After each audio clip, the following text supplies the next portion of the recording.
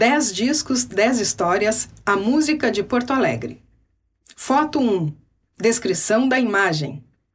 Fotografia horizontal de um palco com piso de madeira. No centro da imagem, sentado em um banco alto, o músico Arthur de Faria segura um microfone com a mão direita e olha para a plateia. É um homem branco, calvo no topo da cabeça e com cabelos escuros. Tem o rosto arredondado, usa óculos e barba curta. Veste camiseta marrom escuro e calça marrom claro. À esquerda dele, um piano de meia cauda com teclado e tampa abertos e uma partitura no suporte. Atrás, no fundo do palco, um telão exibe em cores a capa do disco Paralelo 30, de músicos gaúchos.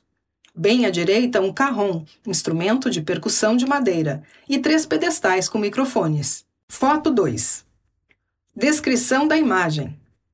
Fotografia horizontal de um palco com piso de madeira. No centro da imagem, sentado em um banco alto, o músico Arthur de Faria segura o microfone com a mão direita e olha para a plateia. É um homem branco, calvo no topo da cabeça e com cabelos escuros. Tem o rosto arredondado, usa óculos e barba curta. Veste camiseta marrom escuro e calça marrom claro. À esquerda dele, um piano de meia cauda com teclado e tampa abertos, e uma partitura no suporte. Atrás, no fundo do palco, um telão exibe em cores a capa do disco Paralelo 30 de músicos gaúchos. Bem à direita, o músico Giovanni Berti está sentado sobre um carrom, instrumento de percussão de madeira. Giovanni é um homem branco com cabelos lisos e grisalhos na altura dos ombros. Usa bigode e cavanhaque. Veste camiseta cinza, jeans e tênis. Próximo dele, do instrumento, estão três pedestais com microfones. Boa tarde. Boa tarde. Bom, uh, eu perguntei quem estava aqui de manhã porque tem uma parte introdutória toda que é mais ou menos a mesma coisa, então vou dar uma pulada. vou dar uma resumida. Uh, claro, de manhã foi muito mais complicado porque era resumir a história de um país inteiro é mais complicado do que resumir a história uma, da música de uma cidade, né? Ainda que, grosso modo, bom, deixa eu primeiro me apresentar. Meu nome é Arthur de Faria, eu sou músico, eu sou compositor e também pesquiso muito a história da música de Porto Alegre há 33 anos. Estou nesse, tô nesse assunto. Fiz o meu mestrado sobre os almôndegas, meu doutorado sobre o Lupicínio eu sou doutor em, doutor em Lupicínio. E lancei até agora três livros sobre esse assunto, que é Porto Alegre, uma biografia musical, volume 1, que saiu no ano passado. Elis, uma biografia musical, que saiu em 2015. E Lupicínio, uma biografia musical que saiu este ano. O Elis, para minha alegria, saiu na Argentina também e vai sair na Espanha uh, ainda esse ano. Como bem me lembrou o meu amigo Vitor Ramil, quando eu fiquei muito espantado, quando a gente lançou o livro da Elise, e o livro vendia bem, vendia bem, ele disse, tá, mas não esquece que não é tu que está vendendo esse livro, é a Elise, né? Então, assim, eu sei que não é por minha, não é por mim que o livro saiu na Argentina ou que vai sair na Espanha, por causa da Elise. Uh, eu tenho, tenho livros aí depois, se vocês quiserem, então, mas eles também são encontráveis em todas as boas livrarias. Se você chegar numa boa livraria e não tiver, é porque não é uma boa livraria. Né? Recomendo a Paralelo 30 ali no Bonfim ou qualquer outra, enfim. Uh, também dá para comprar pelo site da Arquipélago. Todos os livros são da Arquipélago Editorial. Eles entregam em casa. Bom, uh, Porto Alegre, né? A gente é muito recente. É uma cidade muito recente, mesmo para padrões americanos, né? Se a gente pensar que a, uh, em 1752, quando começa a nossa história, uh, já tinha poeta em Minas Gerais, né? Uh, o Bach já tinha morrido, o Benjamin Franklin já tinha descoberto a eletricidade, né? Então, e, e aqui não tinha nada, e nada mesmo, nem os povos originários, porque Uh, as comunidades indígenas que moravam onde hoje é Porto Alegre já não, estavam, já não estavam mais aqui. Isso aqui tinha virado uma sesmaria uh, gigantesca uh, e onde é a ponta da cidade, ali onde é mais ou menos o cais do porto hoje, era o, o porto. O porto dessa cidade. Como é que começa então? Né? Como, é que, como é que começa isso? Começa com um bando de açorianos, coitados. Os Açores são ilhas que ficam no meio do nada do Oceano Atlântico, né? É, e é no meio do nada mesmo. Elas ficam, elas não ficam perto de Portugal. Elas ficam entre Portugal e, e os Estados Unidos, no meio do Atlântico. E é, são ilhas, são várias ilhas que dependem muito da agricultura e tal, e tinha tido várias uh, colheitas frustradas e o pessoal estava literalmente passando fome lá. Então, armou-se um projeto de, de trazer esses imigrantes açorianos para o sul do Brasil. Eles vinham basicamente para um lugar de nome encantador, que era a Ilha do Desterro, que é Florianópolis, e depois a outra ideia, o outro grupo, iria povoar as missões. E para entrar para as missões, vem descendo. Imagine essa viagem em 1752, né? Os caras saem lá do meio do oceano, vêm costeando, provavelmente pararam em Salvador, que era a capital. Dali vem costeando, né? Aí vem, entra pela barra do, de Rio Grande, sobe a Lagoa dos Patos para chegar até aqui nessa confluência de rios, né, que é o Guaíba, para subir de novo, parar aqui, descansar, subir de novo para ir até subindo os rios até chegar nas missões. Só que o que ninguém tinha contado para eles é que a gente estava em plenas guerras guaraníticas, né? Que foi aquela história, Tratado de Tordesilhas divide, uh, dividiu o que ainda não tinha sido descoberto entre aspas, né? entre Portugal e Espanha, e aí eles renegociaram essas terras, renegociaram a Colônia, que é a cidade de Colônia, ali no Uruguai, em troca das missões, né? E, só que não combinaram nem com os indígenas que moravam ali, nem com os jesuítas que tinham as suas missões ali, né? Então, isso deu nas guerras guaraníticas, uh, né? Cepete Araju, essa terra tem dono, toda a história. Só que ninguém avisou os açorianos. Então eles chegam aqui, desembarcam aqui nesse porto para dar uma descansada, onde tinha uma sesmaria lá no alto do Morro, onde a sede era lá no alto do Morro Santana. Lá, não sei. É, é lá. lá é. e aí uh, avisam, ó, só não vai dar para subir agora, né? Porque tá tendo uma guerra lá, né? Então melhor não, melhor não, fica aí. Uh, junto veio uma tropa de bandeirantes, um pouco antes deles veio uma tropa de bandeirantes, não, um pouco depois deles, veio uma tropa de bandeirantes paulistas com uh, é, militares, né, não bandeirantes, veio uma tropa de militares vindos de São Paulo uh, com escravos e um padre. E, bom, e esse pessoal foi ficando ali, foi ficando, foi ficando e passaram-se 10 anos. E não se decidia a situação deles, ou seja, essa é uma grande ironia, ainda mais num estado como do Rio, no Rio Grande do Sul, né? Mas Porto Alegre foi fundado por um grupo de sem terra. É isso, é apenas isso. Era um grupo de gente que veio para cá e não tinha terra e não tinha nada. Depois o tempo foi passando e eles ganharam, então, cada, um, cada família de açorianos, um quarto de Légua em quadro, como tem um livro do, do Assis Brasil, inclusive, que se chama Um Quarto de Légua em Quadro. Aqui em volta dessa ponta da cidade, né?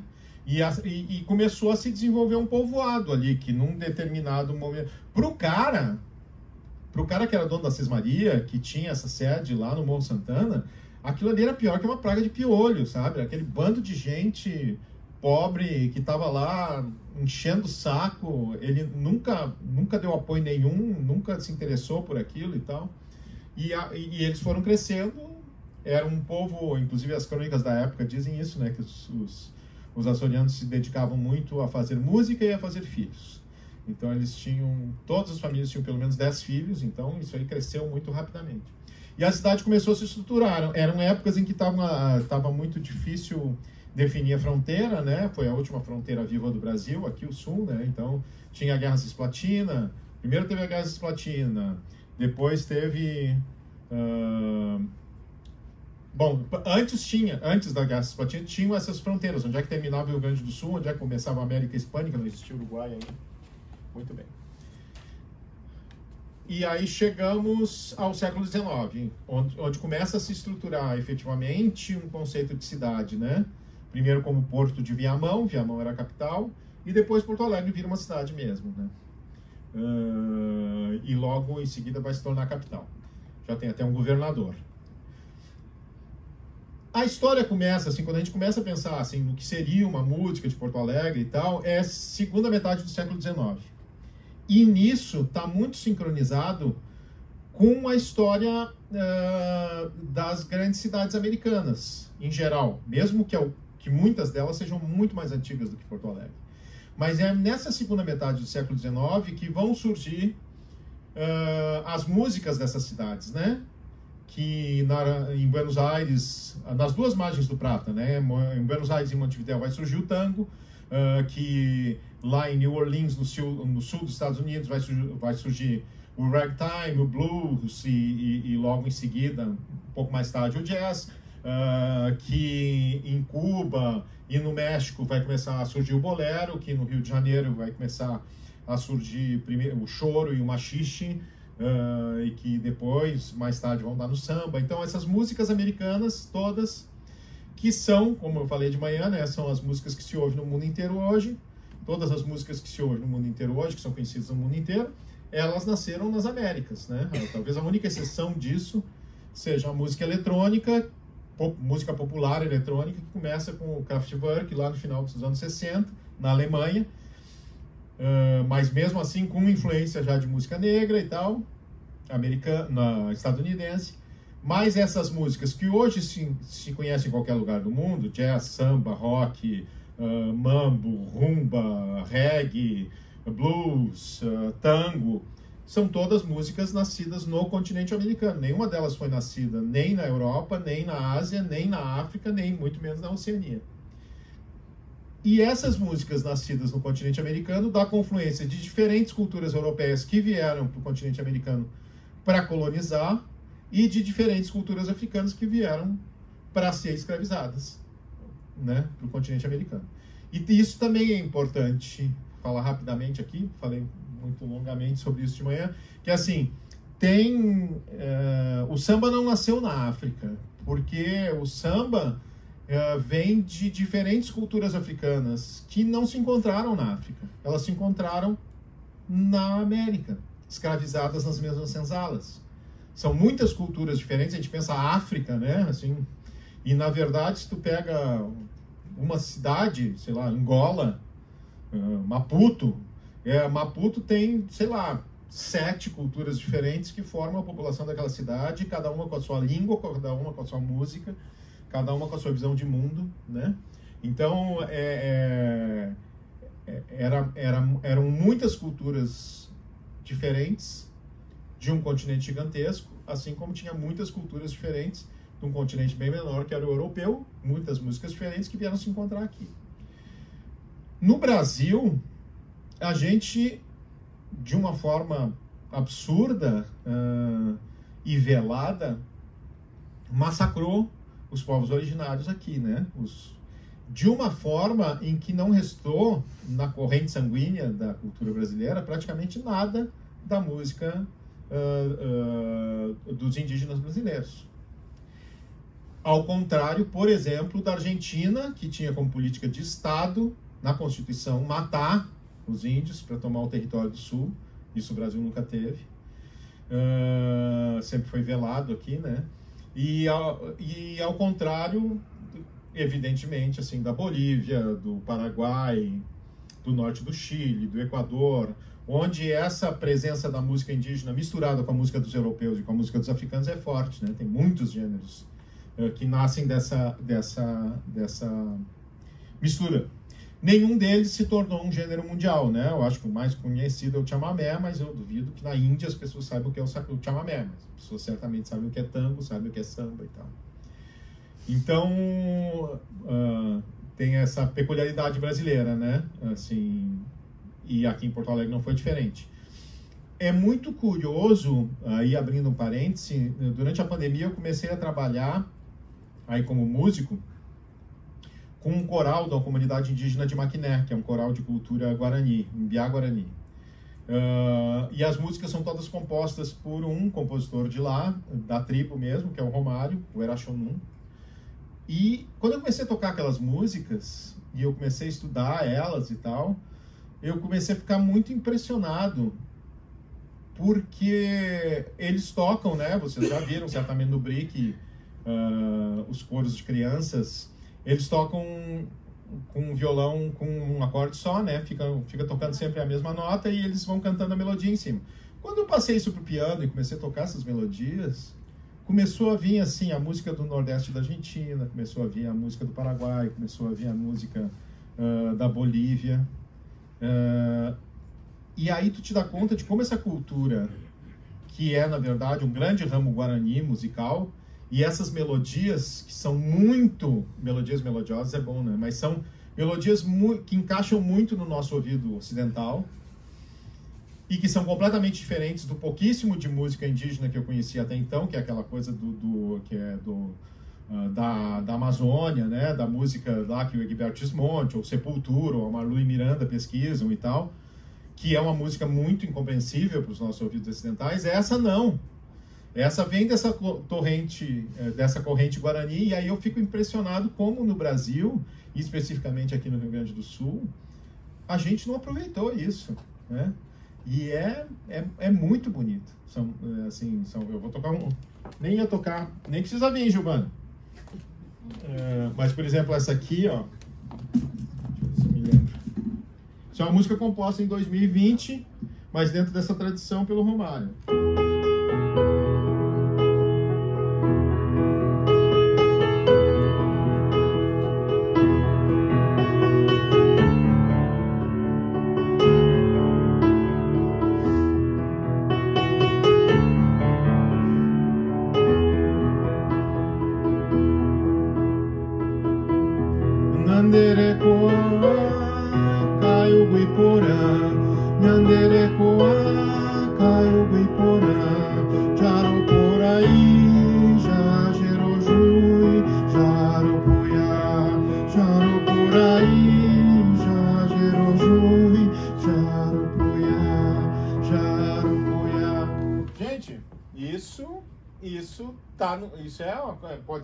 De Niná, pode, pode ser uma música andina, se for tocada com flautinha andina, é um negócio que está completamente. E, e, a gente não usou isso, né? A, a, música brasileira ignorou isso, não usou toda essa riqueza melódica. E assim tem. Eu conheci 10 músicas do Romário, depois outras de tradição. Uh, enfim, isso só para falar do que a gente não usou. O fato é que daí, uh, Porto Alegre, voltando agora desse parênteses, Porto Alegre começa a, a, existir como um sistema, um sistema de produção cultural, de produção musical, nesses últimos 30 anos do século XIX, que é mais ou menos a mesma época em que isso começa a acontecer fortemente também no Rio de Janeiro.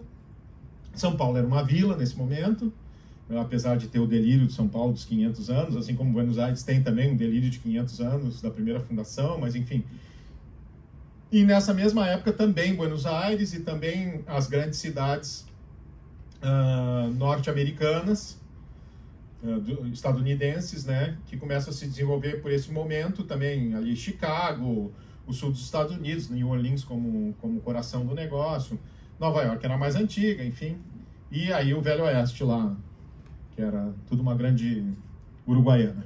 Uh, nesse momento começam a se gerar essas músicas. E aqui em Porto Alegre não é diferente. Então, por volta de 1877, 1880, tem vários compositores aqui em Porto Alegre. Uh, também a outra fantasia gaúcha, né, de Porto Alegrense, de ser uh, a Europa brasileira. E, na verdade, quando eu comecei a escrever sobre a música de Porto Alegre, principalmente quando eu encerrei o primeiro volume, que termina em 1950, eu, me, eu não me dei conta, né? Eu escrevi tudo, mas não me dei conta. O mesmo Vitor Ramil, citado outra vez, o Vitor diz que é sempre o primeiro leitor dos meus livros, porque nenhuma banca de doutorado é mais pentelha do que o Vitor. Uh, e aí ele dizendo, tu te, de... Tchê, tu te deste conta que o protagonismo da música de Porto Alegre até os anos 50 é negro? E eu fiquei assim, olhando para ele com aquela cara de, caralho eu mesmo tinha escrito e não tinha me dado conta. Então, os grandes nomes do século XIX são o primeiro deles o maestro José Mendanha, né, o autor do hino, do hino Farroupilha, que cuja letra original não tinha a frase povo que não tem virtude acaba por ser escravo. Essa é a segunda letra do hino, escrita na época do positivismo, a letra original não tinha isso. Era ruim também, mas era a letra de hino ruim, a gente é melhor que todo mundo e tal, não sei o que, não sei o que, mas não tinha essa frase. Uh, o Mendanha era um caso raro, porque era um comendador preto, em plena época em que a abolição da escravatura ainda estava longe de acontecer, 1860 por aí. Uh, ele, antes aí, é, ele vira comendador nessa época, mas ele veio como maestro das forças imperiais, ou seja, para combater os farroupilhas. Ele foi uh, preso, né? Foi para um e só que ele gostou da ideia, gostou do lugar, gostou do pessoal e resolveu virar a casaca e passou para o lado dos e acabou se estabelecendo em Porto Alegre.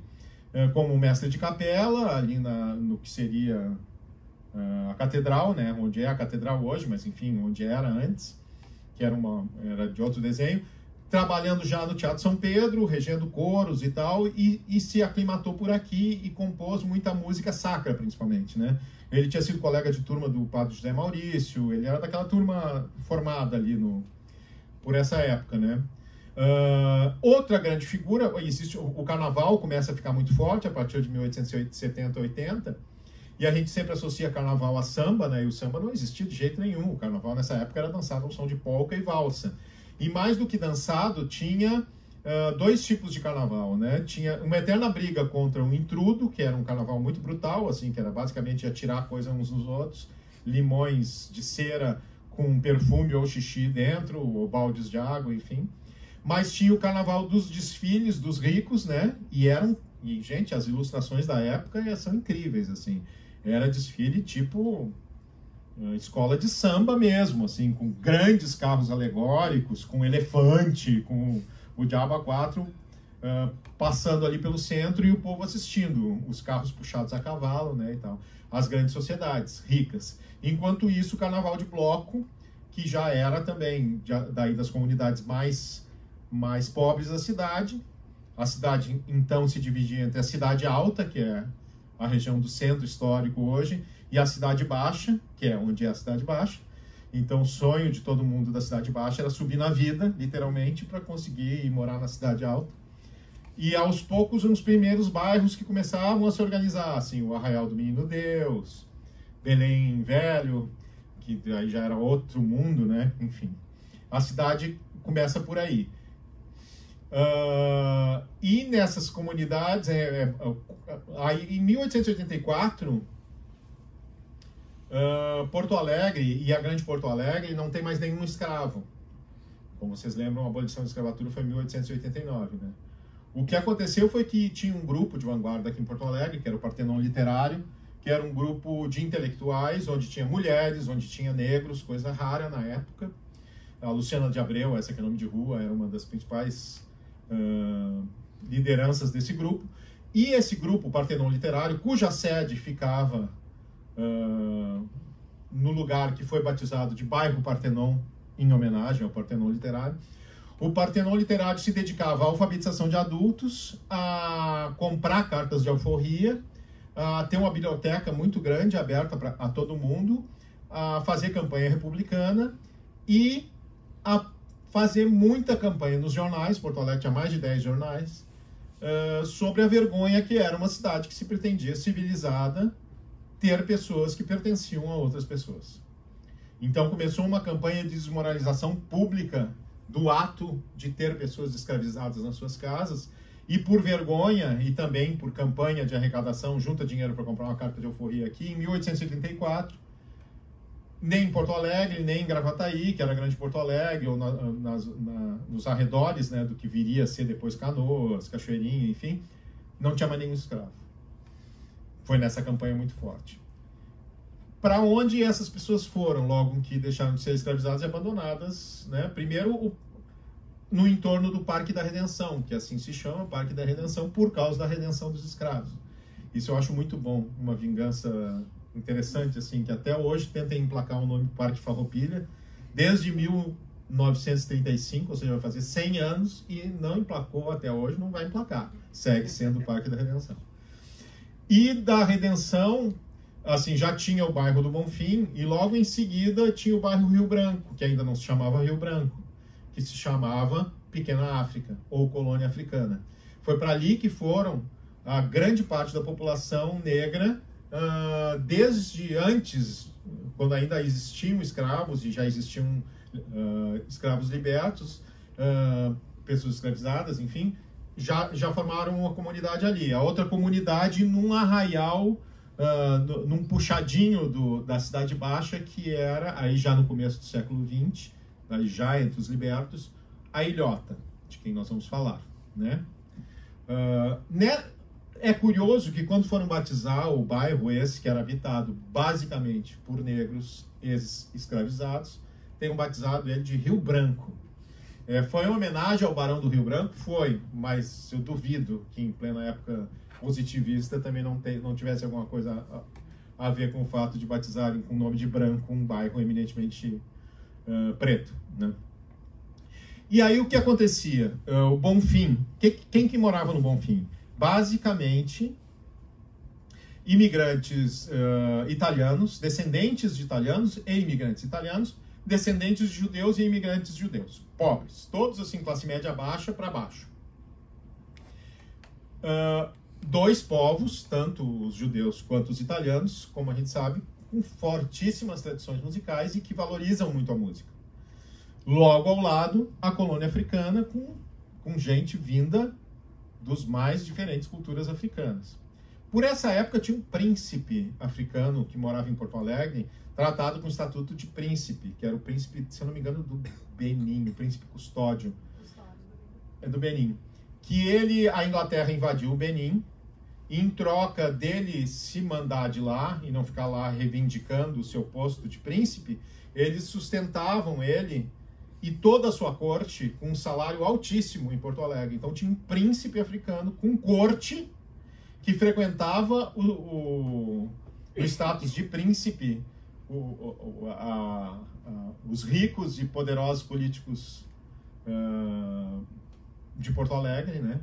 E que andava, quando todo mundo já tinha automóvel, puxado por uma, numa carruagem puxada por cavalos brancos. Essa imagem é, é maravilhosa.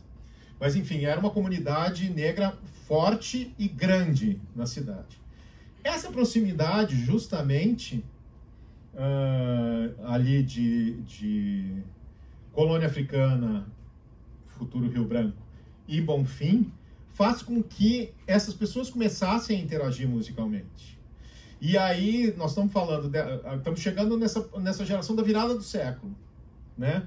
Onde já tinha chegado na cidade a polca, né? A polca que veio da Europa, se espalhou pelo, pelo, pelo mundo todo. A polca foi uma espécie de rock and roll do século XIX, porque por volta da metade do século XIX, ela se espalhou pelo mundo todo muito rapidamente, se misturou com as músicas de todos os lugares e, e fecundou a música de todos os lugares. Tem polca na raiz do tango, tem polca na raiz do, do choro, tem polca na raiz uh, do ragtime, que viria a ser o jazz depois. E aqui em Porto Alegre não era diferente, tinha muita gente compondo polca, tinha inclusive uma mulher compositora nessa época, chamada Lídia Knorr, da qual a gente não conseguiu descobrir quase nada. Tem um álbum de partituras editadas dela. E há um ano passado, um pesquisador bem bom daqui de Porto Alegre, Marcelo Campos, achou o atestado de óbito dela, que foi em 1903. Mais do que isso não se sabe dessa mulher. O fato é que era uma mulher compositora em Porto Alegre, na segunda metade do século XIX, que editou um álbum de partituras com muitas músicas, com... só tocar um pedacinho, que são polcas, super polcas. Essa é de 1873.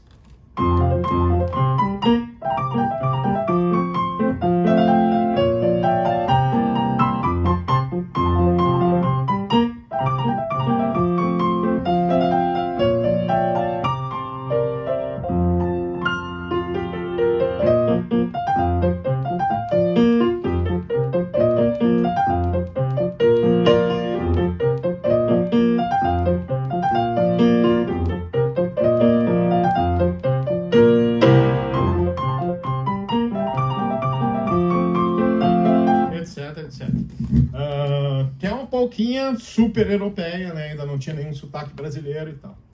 Mas por volta do final do século já começam a ter composições já com sotaque brasileiro. E aí entra o segundo nome importante da música, um dos dois únicos nomes que ficou da música porto Alegre no século XIX, que é o Domingos uh, Mingotti, também conhecido como Mingotão, que era também negro, professor de piano, professor de boas maneiras e, e uh, compositor de músicas de carnaval, que provavelmente eram poucas. Não, não, se tinha nenhum registro dele, mas daí dois anos atrás, um pianista de Pelotas, que eu vou esquecer o nome dele agora, gravou Marcelo Casarré, pode ser, enfim.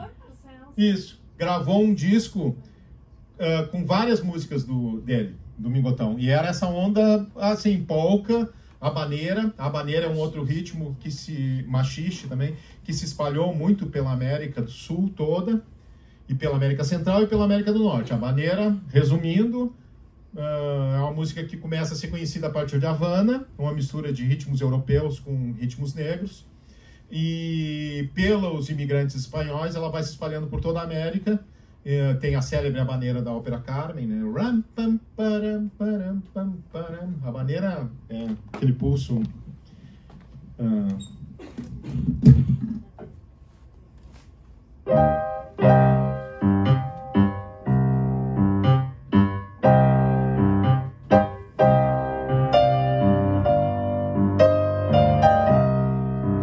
que está na origem do tango está na origem do ragtime.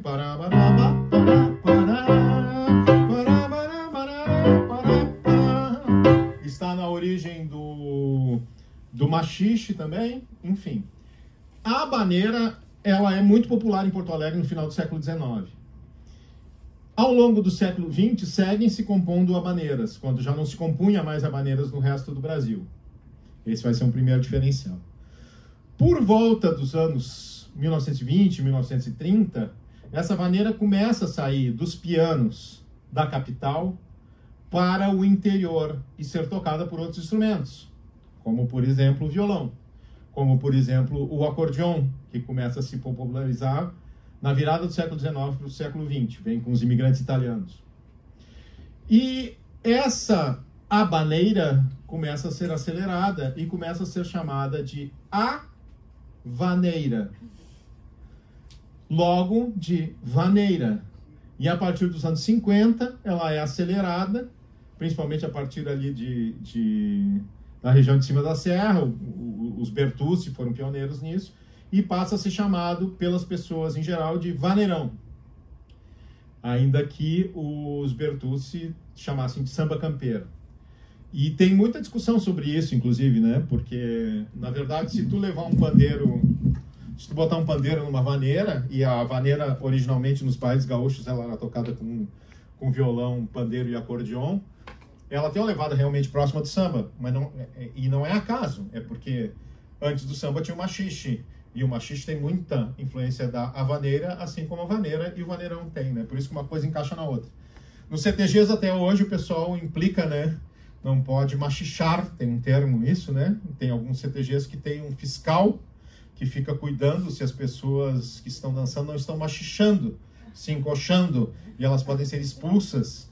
E na verdade isso é uma absoluta ignorância, inclusive cultural, porque é natural que uma pessoa dançando vaneira machiche, porque o machixe e a vaneira vêm do mesmo lugar, a pulsação é a mesma e a vontade de encoxar é igual, porque é o ritmo que induz o encoxamento. Né? Mas enfim. Nessa virada de século XIX para século XX, aí surge um compositor em Porto Alegre que a primeira música uh, dele que se tem registro e que muita gente passou a tocar, ele tinha só 15 anos quando ele compôs, que é o Otávio Dutra. O Otávio Dutra tem uma história também muito, muito dodói. Uh, muito representativa do que da cultura brasileira, né? Inclusive, a gente tinha feito já em 2000 e lembro, 11 talvez, um filme chamado Espia Só, que tem para quem tem Prime, tem para ver no Prime. Uh, é um documentário dirigido pelo Saturnino Rocha, que eu fiz a direção musical e, e, e, os arranjos e tal, que é um documentário sobre Otávio Dutra. tem o Diamandu, tem o Ike Gomes, tem um monte de gente, tem uma, um, um, um grupo de, de chorões que a gente chamou de regional star, porque eram todos os all-stars de Porto Alegre, inclusive o Plauto Cruz, que tem agora o filme dele e. E a gente fez o um filme sobre o Otávio Dutra, já tinha saído uma, um livro sobre o Otávio Dutra, escrito pelo Rádio Vedana, um pesquisador daqui de Porto Alegre. Enfim, se contava a história do Otávio Dutra, que o Otávio Dutra, né, tudo que ele tinha feito, de, de que eu vou falar, filho da de Otavina de Souza e do magistrado Miguel Dutra. E fotos do Otávio Dutra. E fotos do Otávio Dutra com seu grupo, que era o Terror dos Facões, que era um grupo extraordinário, que gravou muito, inclusive. É o primeiro dos discos que eu falei na lista dos 10 discos. É uma compilação do, do Terror dos Facões. O Terror dos Facões gravou nos anos 10 e tem uma compilação da obra deles editada pelo, pelo Instituto Moreira Salles, numa caixa que eles fizeram com as principais gravações uh, dos primórdios do choro no Brasil, nos anos 10 e 20. Chama Memórias Musicais.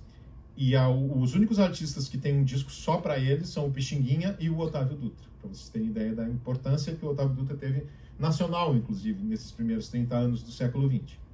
O fato é, voltando, né, a gente tinha visto foto do Otávio Dutra, o Terror dos Facões tinha um irmão do Otávio Dutra, que era o Arnaldo Dutra, que tocava cavaquinho e tal.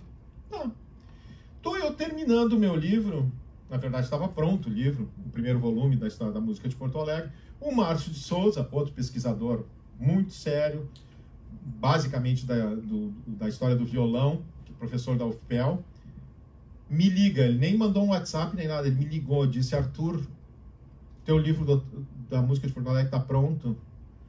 Eu digo, tá na revisão. Ainda dá para fazer alguma coisa? Eu digo, depende, o que que é? Ele diz, é que o Otávio Dutra é preto. Era preto. Como assim? Cara, o Otávio Dutra era filho de escrava. Eu, como assim? Então, o tamanho do racismo estrutural, que a gente olhou aquelas fotos, ele realmente não ele ele é ele é um, um preto claro, né? Assim, não, ele tem mais cara de, de árabe, inclusive. Mas tinha foto dele com o irmão dele, que é inequivocamente preto. Né? E a gente tinha escrito um livro, feito um filme. Eu falei para o Saturnino, o Saturnino disse: Cara, nós temos que refazer esse filme. E a história é a seguinte: é bizarra a história. Uh, o Miguel, esse rapaz, então rapaz chamado Miguel Dutra, filho de uma família rica de Gravataí, uh, apaixonou-se pela escrava pertencente ao irmão dele, que era de Otavina, e começou a fazer filhos nessa escrava e fez cinco filhos enquanto estudava direito em Minas Gerais. Cada vez que ele voltava, fazia um filho. No meio disso, ele casou-se, evidentemente, com uma mulher branca, continuou fazendo filhos. Em 84, ah, quando teve essa abolição meio forçada ah, de todo mundo, ela se mandou de Gravataí, foi morar, veio morar em Porto Alegre. Eles continuaram se encontrando. E ele continuou fazendo filhos. Eles tiveram dez filhos juntos. Sendo que os cinco primeiros filhos, enquanto ela era, enquanto ela era escrava, eram registrados só com o nome da mãe. Porque depois me, me disseram, não, não tenho certeza disso, que, que filhos de escravos sempre eram registrados só com o nome da mãe. Eu não sei isso, isso eu tenho que confirmar. Mas enfim. E a partir do momento em que ela não era mais pertencente a ninguém, é, os filhos todos são registrados no nome de, da de Otavina e do Miguel uh, Dutra. O primeiro deles é o Otávio Dutra, que já tinha cinco irmãos mais, irmãos mais velhos, vai ter quatro irmãos depois. Evidentemente, eles nunca casaram, porque o cara não ia casar com uma ex-escrava. Não tem absolutamente como a gente saber se tinha algum laço afetivo de parte dela com relação a ele, ou se, né, como é que tu vai avaliar um negócio desse, né? Qual é a liberdade que uma pessoa tem de escolher ou não, né? Ter cinco filhos com uma pessoa enquanto ela é uh, escravizada pelo irmão dessa pessoa e depois segue com ele, enfim. Mas o fato é que ele efetivamente, de alguma forma, gostava dela. Tanto que ele dá um jeito de nunca ficar morando em Porto Alegre, para não ter a vergonha de ficar tendo filhos uh, com uma ex-escrava, mas quando ele se aposenta, ele vem morar em Porto Alegre e morar com ela. Nunca casaram, mas os filhos eram registrados no nome dos dois. O Otávio Dutra morreu jovem, morreu com 40 e poucos anos. Quando ele morreu, ainda o pai dele já tinha morrido há muito tempo, ainda não tinham conseguido resolver os, as tretas de herança, porque ele tinha grana, e não resolveram até morrer o último dos filhos. Nenhum filho do Miguel Dutra herdou nada, sendo que ele não tinha filhos com a esposa legítima que morreu, inclusive eh, antes de nascer o Otávio Dutra. Então essas histórias tão bizarras, assim, né? Eh, a família nunca deixou que, que, que os filhos recebessem o dinheiro. O fato é que isso, assim, o Otávio Dutra, então, cresceu uh, nessa circunstância meio surreal de viver numa família de classe média, uh, em algum momento de classe média alta, conforme o salário do pai dele ia subindo e tal, ele sustentava sempre a família e tal. Quando a mãe dele tinha sido escrava do tio dele, né? Então, como isso funcionava, eu não sei. O fato é que o Otávio Dutra foi se destacando como um nome fundamental da música de Porto Alegre nesse momento. Tudo o que aconteceu na música de Porto Alegre nos primeiros 30 anos do século XX, quando eu comecei a pesquisar, era a coisa que eu mais me chocava. Eu estava lá pesquisando sobre qualquer pessoa. Otávio Dutra. Otávio Dutra. Ah, caralho, de novo Otávio Dutra, cara, não é possível. E aí o cara, assim, ele era metido com o carnaval, muito envolvido com o carnaval. Tinha grandes batalhas de carnaval nos anos 20 em Porto Alegre, que eram realizadas na Praça Garibaldi, ali uh, na fronteira da, da Cidade Baixa com a Ilhota e que chegava a reunir 30 mil pessoas, né? E os blocos de carnaval tinham violinos, sopros, além da percussão e tal. E os caras tinham a coisa do desafio de compor uma música na hora, ensinar todo mundo a cantar, um bloco, e aí o outro compunha a resposta, aprendia a cantar, e um cantava para o outro, e depois elegiam quem era melhor, quem ganhava e tal. Quem tinha ganhado a melhor música composta e arranjada na hora, cantada por todo mundo, é, é esse tipo de batalha carnavalesca até os anos 20. O Otávio Dutra era uma, uma das estrelas do carnaval. Além do que, professor de absolutamente todo mundo. Nessa época, tinha muitas estudantinas, que eram grupos de estudantes que se dedicavam nas horas vagas, que eram muitas, uh, estudantes de classe média e alta, né, a, a tocar algum instrumento em grupo. Então, tinha muitas orquestras só de mulheres e orquestras mistas também de estudantes que tocavam basicamente bandolim, violão. Uh, e o Otávio Dutra era um professor, era um exímio instrumentista de bandolim e violão e professor de todo mundo. Professor de teoria musical também. Ele também compunha muito para teatro de revista, que é uma coisa que ficou completamente esquecida. Ninguém sabe dessa do teatro de revista em Porto Alegre, né, da tradição do teatro de revista que teve durante 30, 40 anos. Tem as obras todas, o acervo do Otávio Dutra está todo lá na UFPEL. Uh, e tem lá os, os, espetáculos inteiros, assim, letra, texto, partitura, tudo, tem que montar isso em, em, algum momento. E eram sempre sobre assuntos da moda, então tinha um detetive de histórias seriadas uh, chamado Nick Winter, que tinha série de cinema mudo ainda, então tinha uma das operetas, era, um, era Nick Winter em Porto Alegre, então esse tipo de coisa. Era, era, era o teatro pop da época, né? Além disso, tinha os grupos dele. Esse grupo, o Terror dos Facões, ele era reuniu os melhores músicos da cidade e eles gravaram muito, tanto pela Casa Elétrica, que foi uma gravadora que teve aqui em Porto Alegre, de quem a gente vai falar daqui a pouco, quanto pela Odeon, que era uma gravadora do Rio de Janeiro importante. E ele foi chegou a ser campeão de direito autoral em 1914, foi o cara que mais registrou músicas uh, e que mais gravou músicas nesse ano de 1914. E é um, e, e, foi ficando esquecido, né, o Otávio Dutra. Mas nesses primeiros 30 anos ele compôs, por exemplo, dois um, um gigantesco sucesso, que foi uma música chamada Celina, que é uma valsa que ele compôs e que vendeu 5 mil discos numa época em que a tiragem média de um disco era 200 exemplares. Então é uma coisa. É, nenhum outro disco gravado é, em Porto Alegre nessa época, por essa casa elétrica, vendeu nem perto do que vendeu a Celina. Né? É, eu vou tocar um trechinho da Celina e já, já chamo o Giovanni. Giovanni, pode vir. Não, pode esperar, pode esperar. Pode... Deixa eu tocar a Celina primeiro, que é valsa. Celina é uma coisa muito linda que foi editada. Eles gravaram com um arranjo o Terror dos Facões, mas ela foi editada numa versão para piano que os pianistas da cidade todos tocavam, que foi uma, uma partitura vendidíssima. Eu não sei se. Enfim, toca um pedacinho.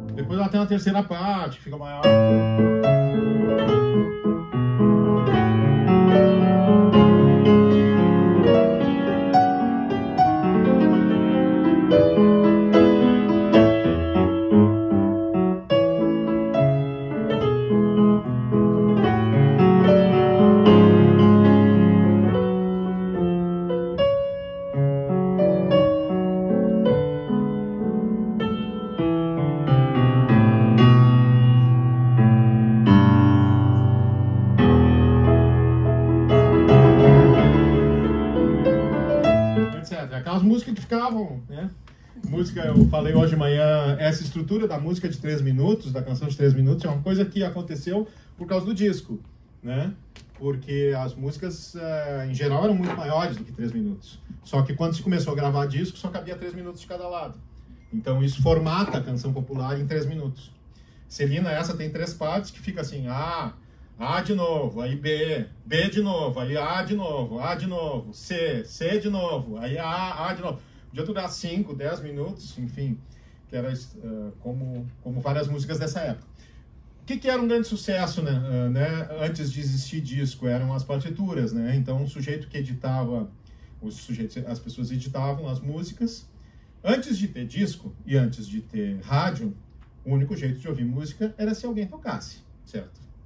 Então, fazia parte da formação das moças, das famílias de bem, de classe média para cima, aprenderem piano, que era justamente no lugar, como eu disse hoje, no lugar daquele telão de 240 polegadas que as pessoas têm na sala, tinha um piano, que era o jeito de ouvir música, e alguém precisava tocar esse piano. E alguém precisava e precisava compor essas músicas. E essas músicas eram ou música ligeira, como se diz, né, música música clássica, erudita, de concerto populares, áreas de ópera, essas coisas, ou música popular. E, inclusive, os compositores de Porto Alegre eram editados em várias casas de, de edição de partitura que publicavam as partituras e as pessoas tocavam, tocavam nas casas. Uh, além desse lado todo lírico do Otávio Dutra, tem o fato também dele ser um cara de transição dessa música meio europeia para já uma música inequivocamente brasileira. E agora sim eu chamo para este palco Giovanni Berti, meu compadre grande percussionista. Que nós vamos tocar um outro grande hit do Otávio Dutra, que inclusive batizou a primeira, a primeira jazz band de Porto Alegre, que era o Espia Só, que é a música chamada Espia Só. E a gente vai fazer assim, a primeira passada dela bem pouca mesmo, né? Uh, e aí a segunda passada já do A, né, da primeira parte dela, já meio machixe. Só para vocês entenderem, porque o Otávio Dutra era justamente dessa geração de transição entre entre o, a polca europeia e o machixe. Vamos lá? Deixa eu ver o andamento. Um, um, um, um.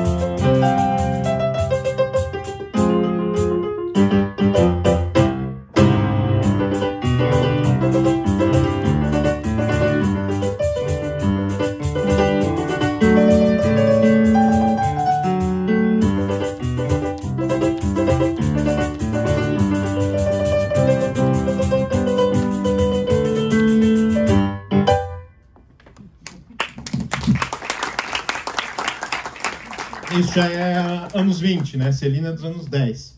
Então já tem esse sotaque já muito brasileiro. O choro começa a se desenvolver ainda sem ser chamado de choro uh, no século XIX. Tanto em Porto Alegre já tem polcas que poderiam ser chamadas de choro, quanto no Rio de Janeiro.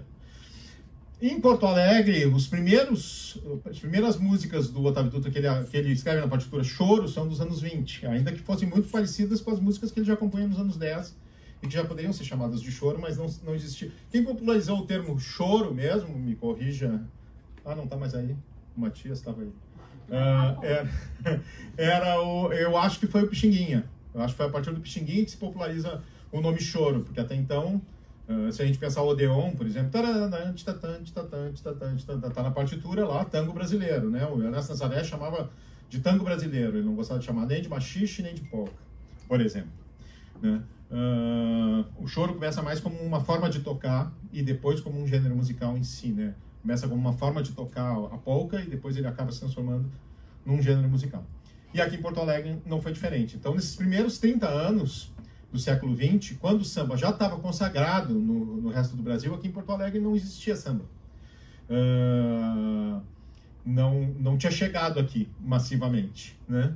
Uh, inclusive tem relatos né, das gravadoras e tal, uh, dos caras dizendo não adianta mandar disco de samba lá para Porto Alegre, os caras não compram, né? Se a gente pensar que o primeiro grande sucesso do samba é de 1917, que é o Pelo Telefone, que durante muito tempo se achou que era o primeiro samba gravado, mas depois se achou sambas gravados aqui em Porto Alegre em 1913, e aí começou aquele delírio, em Porto Alegre se gravou o primeiro samba, só que daí acharam um samba gravado no Rio de Janeiro em 1911, daí acabou o delírio. Uh, mas enfim, o primeiro que segue sendo data como assim, o primeiro samba, porque é o primeiro samba que tocou bastante, que todo mundo conheceu, que foi gravado com sucesso, é o Pelo Telefone em 17. O samba só vai começar a se tornar popular em Porto Alegre 20 anos depois. Uh, quando já era uma coisa da tradição carioca, por exemplo, da tradição brasileira. Uh, junto com essa turma uh, do Otávio Dutra, que, que nesse momento já tinha os seus 30, 40 anos, ele morreu, ele morreu relativamente jovem, ele morreu em 1937 com 40, 52 anos. Uh, 37 é o ano que morreu Noel Rosa também, é interessante. Só que o, o Noel tinha nascido em 1910 e o Otávio Dutra em 1885. Né? Então, uh, eles, mas eles são contemporâneos em alguma medida. Nessa, nessa primeira geração, começa a ter uma geração de filhos de imigrantes uh, que começam a estudar no Instituto de Belas Artes que é o atual Instituto de Belas é, o curso de música da URGS, né, da Universidade Federal do Rio Grande do Sul. Porque um pianista mineiro, não me lembro agora se mineiro ou carioca, o Guilherme Fontainha, que era um concertista internacional aclamado nos palcos da Europa, depois de ser consagrado, ele resolveu voltar para o Brasil e devolver para o Brasil um pouco do que ele tinha recebido de prestígio e começou a fundar uh, conservatórios de música fundou Belas Artes aqui, se eu não me engano, em Pelotas também, em várias outras cidades. E aqui em Porto Alegre ele foi, foi o cara a projetar o curso, o primeiro curso de música, que é uh, do começo, bem do comecinho do século. Onde começa a despontar uma geração de músicos extraordinários, que isso eu acho muito impressionante que essa gurizada com 12, 13, 10 anos de idade, é, é que não, não tinha TikTok, né? E não tinha videogame. Então, sei lá, o pessoal precisava se interter com alguma coisa. Essa geração, nos primeiros 20 anos, tem músicos incríveis, do qual o mais incrível de todos é o Radamés em Atari. O Radamés nasceu uh, na Fernandes Vieira, ou seja, uh, meu vizinho também.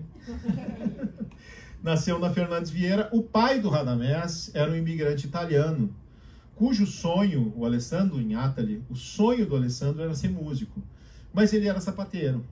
Então ele veio fazer a América, como muitos dos imigrantes italianos vieram nesse começo do século XX. É diferente dos imigrantes italianos que vieram lá por volta de 1860.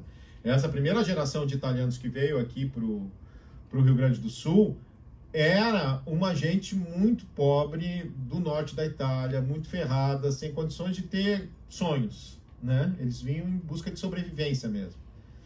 Uh, também eram sem terra, né? Uh, antes tinham vindo os alemães por volta de 1825, né? Mas essa geração de italianos que vem do começo do século XX já é uma geração de italianos urbanos, que já era uma gente que tinha, tinha profissões urbanas, que já era um pouco mais estabelecida, tinha algum dinheiro, mas que queria ficar rico. E para isso vinham para a América, para fazer a América. Né? Um quadro muito bom disso, de como isso aconteceu nos Estados Unidos, é o Poderoso Chefão. Né? É, assim, não que todos fossem mafiosos, não é isso que eu estou dizendo, mas é aquela, aquela cena uh, italiana, dos italianos que vão fazer a América, em Nova York, ou em Buenos Aires, ou, ou aqui em Porto Alegre. E o Alessandro era um desses, o sonho dele era ser músico, ele era sapateiro. Ele veio para o Brasil, conseguiu se tornar músico, conseguiu se profissionalizar como músico, era fagotista, depois conseguiu ser maestro e conseguiu dar educação musical para os seus filhos, que todos tinham nomes de personagens de ópera o Alessandro em Atali, o Radamés em Atali, a Ida em Atali. Uh, então, é, ele, ele foi transferindo para os filhos essa, esse sonho que ele não tinha conseguido realizar. O Radamés, com oito anos de idade, portanto, em 1914, ele ganha uma bolsa para estudar na Itália, cujo mérito tinha sido que ele tinha regido uma orquestra com arranjos escritos por ele aos oito anos de idade. E só que daí ele ganhou a bolsa para estudar e o pai dele disse não, mas não vai. A Itália não me deu nada, o Brasil me deu tudo, vai ficar no Brasil. E, e ainda que na época fosse isso tivesse sido muito chocante para o Radamés, depois ele agradecia porque tudo que ele tinha se tornado como misturar essa essa forte formação que ele vai ter de estudo aqui no Belas Artes e tal, uh, com o fato dele ser brasileiro, foi que tornou ele um músico único no mundo que ele acabou se tornando. Uh, o Radamés começou a estudar uh, muito novo também, já piano para ser concertista. Antes disso, eles tinham uma turma aqui nos anos 20, uh, fazia de tudo em Porto Alegre também. Eram os irmãos Cosme, o Luiz Cosme e o Sotero Cosme, o Júlio Grau, flautista, o Radamés. E eles estavam envolvidos com carnaval, eles tinham um quarteto, o Radamés tocava viola de arco num quarteto de corda, tocava violino numa orquestra, tocava piano, tocava cavaquinho no bloco de carnaval, tocava fagote um pouco, uh, compunha, já fazia concerto com as músicas dele no Teatro São Pedro, mas queria mesmo era ser concertista de piano. Vai para o Rio de Janeiro em 1930 como levado como grande aluno do Guilherme Fontainha, faz um concerto no Teatro Municipal com um concerto para piano do Tchaikovsky, que é aclamado e tudo mas tem que voltar para Porto Alegre, porque, como ele disse, se ele fosse filho de pai rico, ele estava feito, mas não, ele precisava ganhar a vida. E nessa mesma geração aí, nessa época ele tinha 20 e poucos anos, desponta também um jovem flautista, que é o Dante Santoro, que também, muito menino, com 11 anos, era aclamado como um flautista inacreditável. Era da turma do Otávio Dutra, tinha sido aluno do Otávio Dutra, tocava com o Otávio Dutra e tal. E o Dante Santoro vai para o Rio de Janeiro, daí em 1936, e como o Radamés também estava lá, os dois se empregam uh, na Rádio Nacional do Rio de Janeiro, que estava abrindo naquele momento, em 1936, que depois, a partir dos anos 40, vai ser encampada pelo governo e vai ser a rádio mais popular uh, do Brasil, o veículo de comunicação mais popular, cujo maestro principal era o Radamés Gaúcho e cujo diretor do regional da rádio que acompanhava eh, todo mundo era também gaúcho, era o Dante Santoro. Mas além desses dois nessa geração, tem um outro sujeito muito incrível, que é o Paulo Coelho. O verdadeiro Paulo Coelho. Le vrai Paulo Coelho. O Paulo Coelho era um pianista também que foi fazer prova para o Instituto de Belas Artes, tipo, com oito anos de idade. E os caras disseram, não, só cresce um pouquinho, mas a partir dos 12 ele começou a cursar o que seria a faculdade de piano. Uh, ele impressionou muito o professor, que eu não me lembro quem era, se era o Murilo Furtado, era um desses, o Araújo Viana, sei lá. Porque ele fazia um número de tocar um piano com cada mão, o que é fácil de fazer, é só tu botar um piano do lado. Só que ele tocava duas músicas diferentes. Numa, num piano ele tocava uma, no outro piano ele tocava outra. E quem viu o Paulo Coelho tocar, infelizmente, ele só tem uma gravação, e nessa gravação ele não, ele, o piano está super discreto, porque é uma canção todo mundo que viu ele tocar nos anos 40, ele morreu em 1941, né, nos anos 30, então, né? Uh, diz que ele era o maior pianista brasileiro. Assim, a Carmen Miranda vinha para Porto Alegre e exigia ser acompanhada pelo, pelo Paulo Coelho, o Francisco Alves vinha a Porto Alegre exigia ser acompanhado pelo Paulo Coelho, Orlando Silva, toda essa turma, né? E o Paulo Coelho tinha uma jazz band, que era a jazz band de Paulo Coelho, que tinha os melhores músicos de Porto Alegre. Jazz band? Pois é. Acontece que em 1924, posso estar errando por um ou dois anos, mas acho que é isso aí. Onde hoje é o Shopping Total, e onde antes existia a cervejaria, se não me engano, Bop, uma coisa assim. Sim. Se transforma na cervejaria Continental. E para a inauguração da cervejaria Continental, quem eles trazem? Pixinguinha e os Oito Batutas. Pixinguinha e os Oito Batutas era um grupo regional, era o grupo, era o grupo de música mais importante do Brasil, que era um regional com, com flauta, cavaquinho, bandolim, violão, percussão e tal. Só que, patrocinado pelo Gimli, que eu não me lembro qual dos Gimli agora, uh, foi para Paris. E lá em Paris se tornou uma atração nos anos 20, justamente no momento em que o jazz começava também a se tornar um fenômeno em Paris. Era o machixe, o jazz e o tango. E lá eles descobrem esse negócio que é, mais do que a música de jazz, a jazz band qual é a característica da jazz band? A jazz band tinha um instrumento que tinha acabado de ser inventado, que era a bateria, que possibilitava que um só percussionista tocasse o que antes três tocavam. Que um tocava o bumbo, o outro tocava a caixa, o outro tocava o prato. A jazz band o cara tocava tudo. A bateria o cara tocava tudo. Uh, os saxofones, que até então já tinha saxofonistas no Brasil, mas não era um instrumento popular. Piston, né, trompete, trombone, o fato é que os oito batutas vão nesse formato regional e quando eles voltam para o Brasil, eles voltam completamente transformados. Tá? Com, a, com a instrumentação de baixo acústico, bateria, banjo, uh, saxofone, uh, trompete, tr trombone. Viram, eles vêm com o formato de jazz band. E enlouquece o pessoal da cidade. Porto Alegre tinha muitos grupos nessa época de música, entre eles o, esse o Espiaçó, que eu falei, né?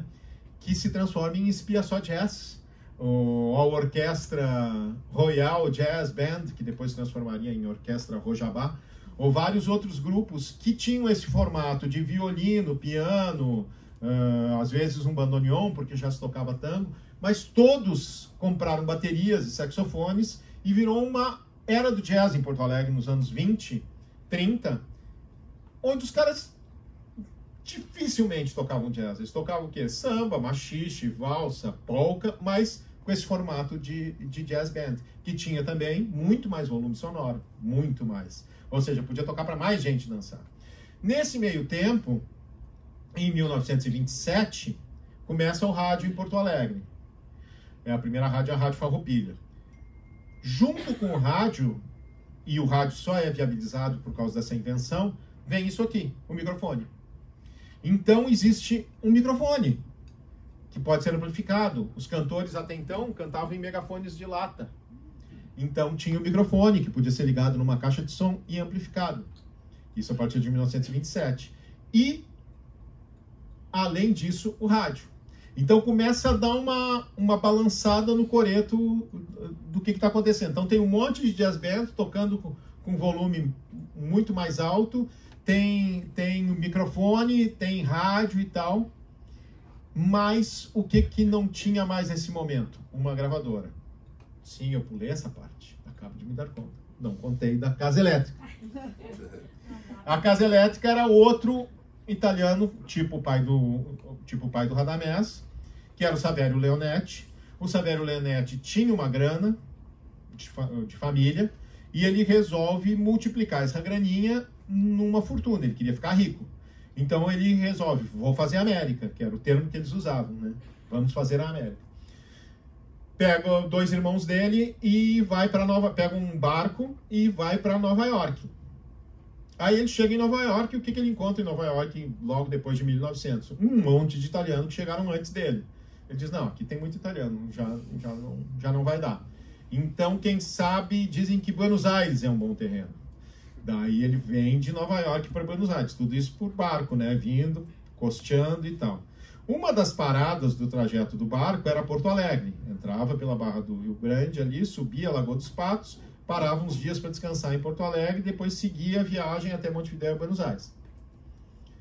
Ele chega em, ele faz isso. Ele chega em Buenos Aires e também Buenos Aires está tomada de italianos num determinado momento. Buenos Aires, 30% da população de Buenos Aires era de imigrantes ou filhos de imigrantes italianos, né? Mais ou menos por essa época. Uh, e aí ele fala para os irmãos dele, cara, e se a gente voltasse naquela cidade lá que a gente teve, Porto Alegre? Aquilo lá parece um mercado promissor, parece um negócio que vai dar pé. Nessa época estava começando a ter luz elétrica nas casas. Então eles montam uma loja na Rua da Praia chamada Casa Elétrica, que vende artigos elétricos. Artigos de eletricidade ligados. A principal é, atração eram as lâmpadas Osram, que existem até hoje, mas também todo, todo tipo de, de artigo ligado na eletricidade. E eles começam a ver também que em Porto Alegre tinha uma demanda muito grande, isso já também em 1910, por gramofones. As pessoas queriam ouvir música, que era essa novidade. Desde 1904 tinha música gravada, né? tinha discos.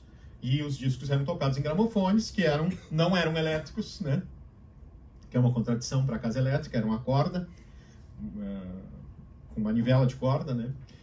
Mas o, o, o Leonetti dá conta que os gramofones eram muito caros, então resolve montar uma fábrica de gramofones.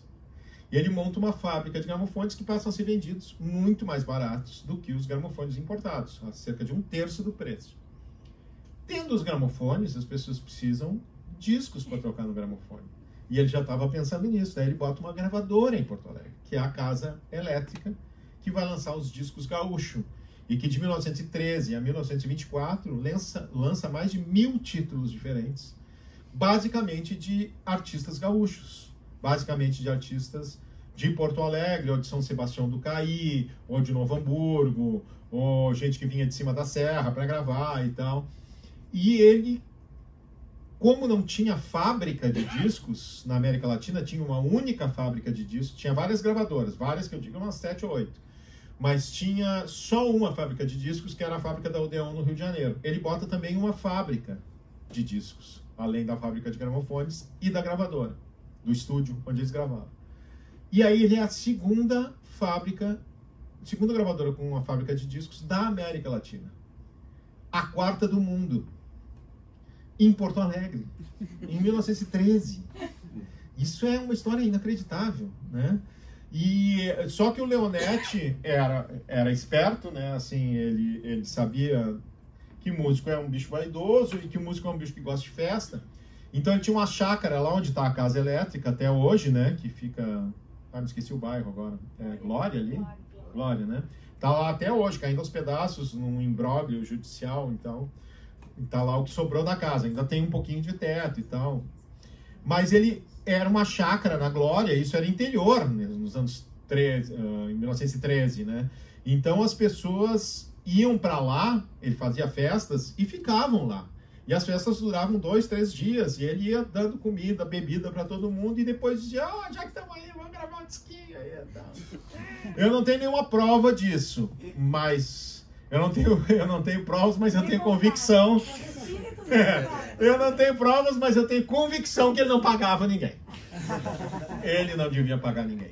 E alguns discos como esse da Celina venderam muito, né? E vinha gente do centro do país, quando vinha se apresentar em Porto Alegre, gravava também para a Casa Elétrica. E aí começa a Segunda Guerra, a Primeira Guerra Mundial. Começa a Primeira Guerra Mundial. O que, que acontece? Dessas fábricas, dessas quatro fábricas que tinham de disco no mundo, uma delas era na Alemanha. E era para onde os caras na Argentina mandavam as matrizes dos discos, que já se gravava tango na Argentina desde 1904. Mandavam as matrizes dos discos para a Europa, para essa fábrica na Alemanha, eles prensavam os discos e os discos vinham de volta. Com a guerra, é afundado um navio, um submarino afunda um navio que, que vinha trazendo discos e os caras se dão conta que não podem mais fazer isso. Então, a maior parte deles passa a fabricar na Odeon, no Rio de Janeiro, mas o rei do tango na época, que era o Francisco Canaro, vem a Porto Alegre para gravar na Casa Elétrica. E traz, isso é um dado muito, muito impressionante para mim, traz só metade da banda. Porque ele sabia, já tinham dito para ele, que em Porto Alegre, em 1915, se eu não me engano, tinha músicos que tocavam tango argentino tão bem quanto os argentinos, que ele não precisava se preocupar com trazer músicos, todos os músicos de lá. Então vem o violonista dele, que depois iria se tornar um baixista super importante do tango, vem ele e não me lembro mais quem, acho que um flautista e tal. E os outros músicos eles pegam aqui de Porto Alegre e gravam uma música que vai ser um grande sucesso importante do canal, que é El Chamujo. Isso tudo tem no YouTube. Ah, depois vocês todos deram os dados, né? Eu vou mandar para vocês um pelo e-mail que vocês se inscreveram, eu vou mandar uma playlist no YouTube com um monte de coisa e um, um materialzinho de apoio, assim, uns textos sobre isso e tal. Uh, deixa eu tirar o.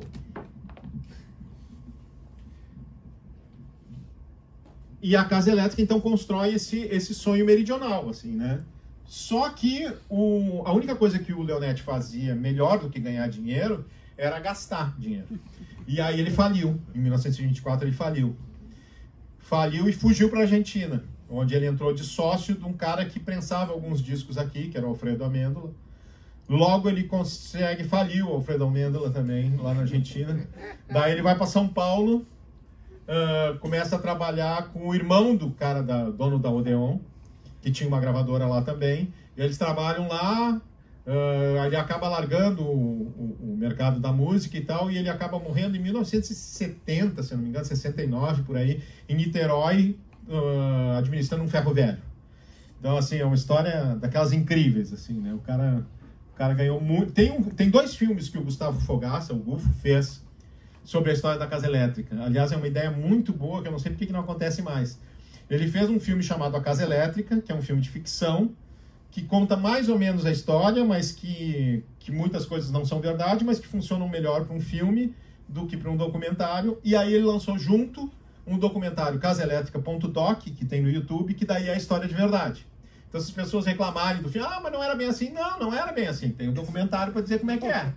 Né? Muitas vezes a gente vê essas cinebiografias com um monte de coisa que não é bem assim e fica pensando, puta, eu, eu penso, né? Daí podia ter feito um documentário, né? Tipo, a, a cinebiografia da Elis, que eu acho muito boa, mas que tem um monte de pequenas inverdades, podia ter junto um, um documentário com a coisa como ela era mesmo, né? Enfim. Uh, bom, a Casa Elétrica fecha em 1924 e Porto Alegre só vai ter uma gravadora de novo em 1975. Então isso é inacreditável. Tem um buraco de mais de meio século, de 51 anos, sem que tenha como gravar os compositores e os músicos de Porto Alegre. Isso vai dar um buraco muito grande na formação da música daqui, né? Uh, porque o que que acontece? Os caras não conseguem uh, o que se produz de música, os compositores não têm aonde mostrar essas músicas. Por quê? As rádios começam a crescer a partir de 1935. Né? 27 é a Rádio Farroupilha. Em 1935, durante as festividades dos 100 anos da Revolução Farroupilha, é inaugurado a, a, ali no o Parque Farroupilha, que segue sendo chamado de Redenção, mas no Parque Farroupilha tem uma grande feira, aquilo tudo é urbanizado, vocês procurem depois no YouTube, que é impressionante. No YouTube, não, no Google, tem as fotos de, de o que era a Redenção.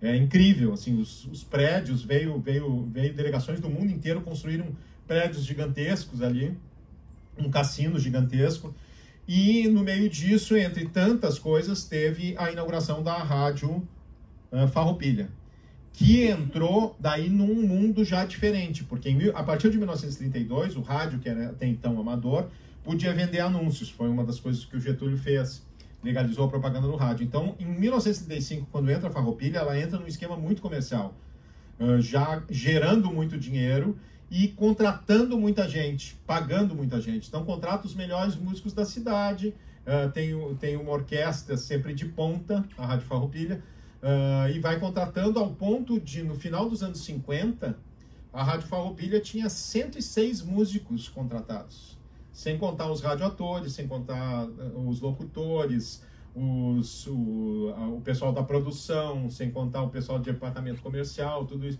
Era, um, era uma estrutura gigantesca. Tinha uma orquestra sinfônica, tinha uma big band de jazz, tinha pequenos conjuntos de jazz, tinha regional, tinha uma multidão de cantores, né? Então isso era muito emprego para muita gente. Tá, mas então por que, que não tinha música e tal, não sei o quê? O que, que esses caras tocavam? O que, que esses caras cantavam? Outros compositores que não de Porto Alegre. Porque aí é o mesmo esquema, que nem esquema de rádio comercial hoje, né? Pega uma rádio, uma rede de rádio, sei lá, uma rede de rádio como a Mix FM que tem no Brasil inteiro.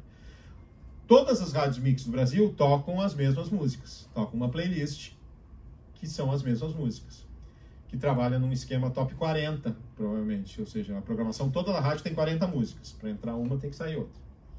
Nessa época não eram só 40, eram mais. Mas o que, que acontecia? As duas principais rádios de Porto Alegre vão seguir sendo durante muito tempo a Gaúcha e a Farroupilha. Concorrentes entre si, não eram do mesmo grupo.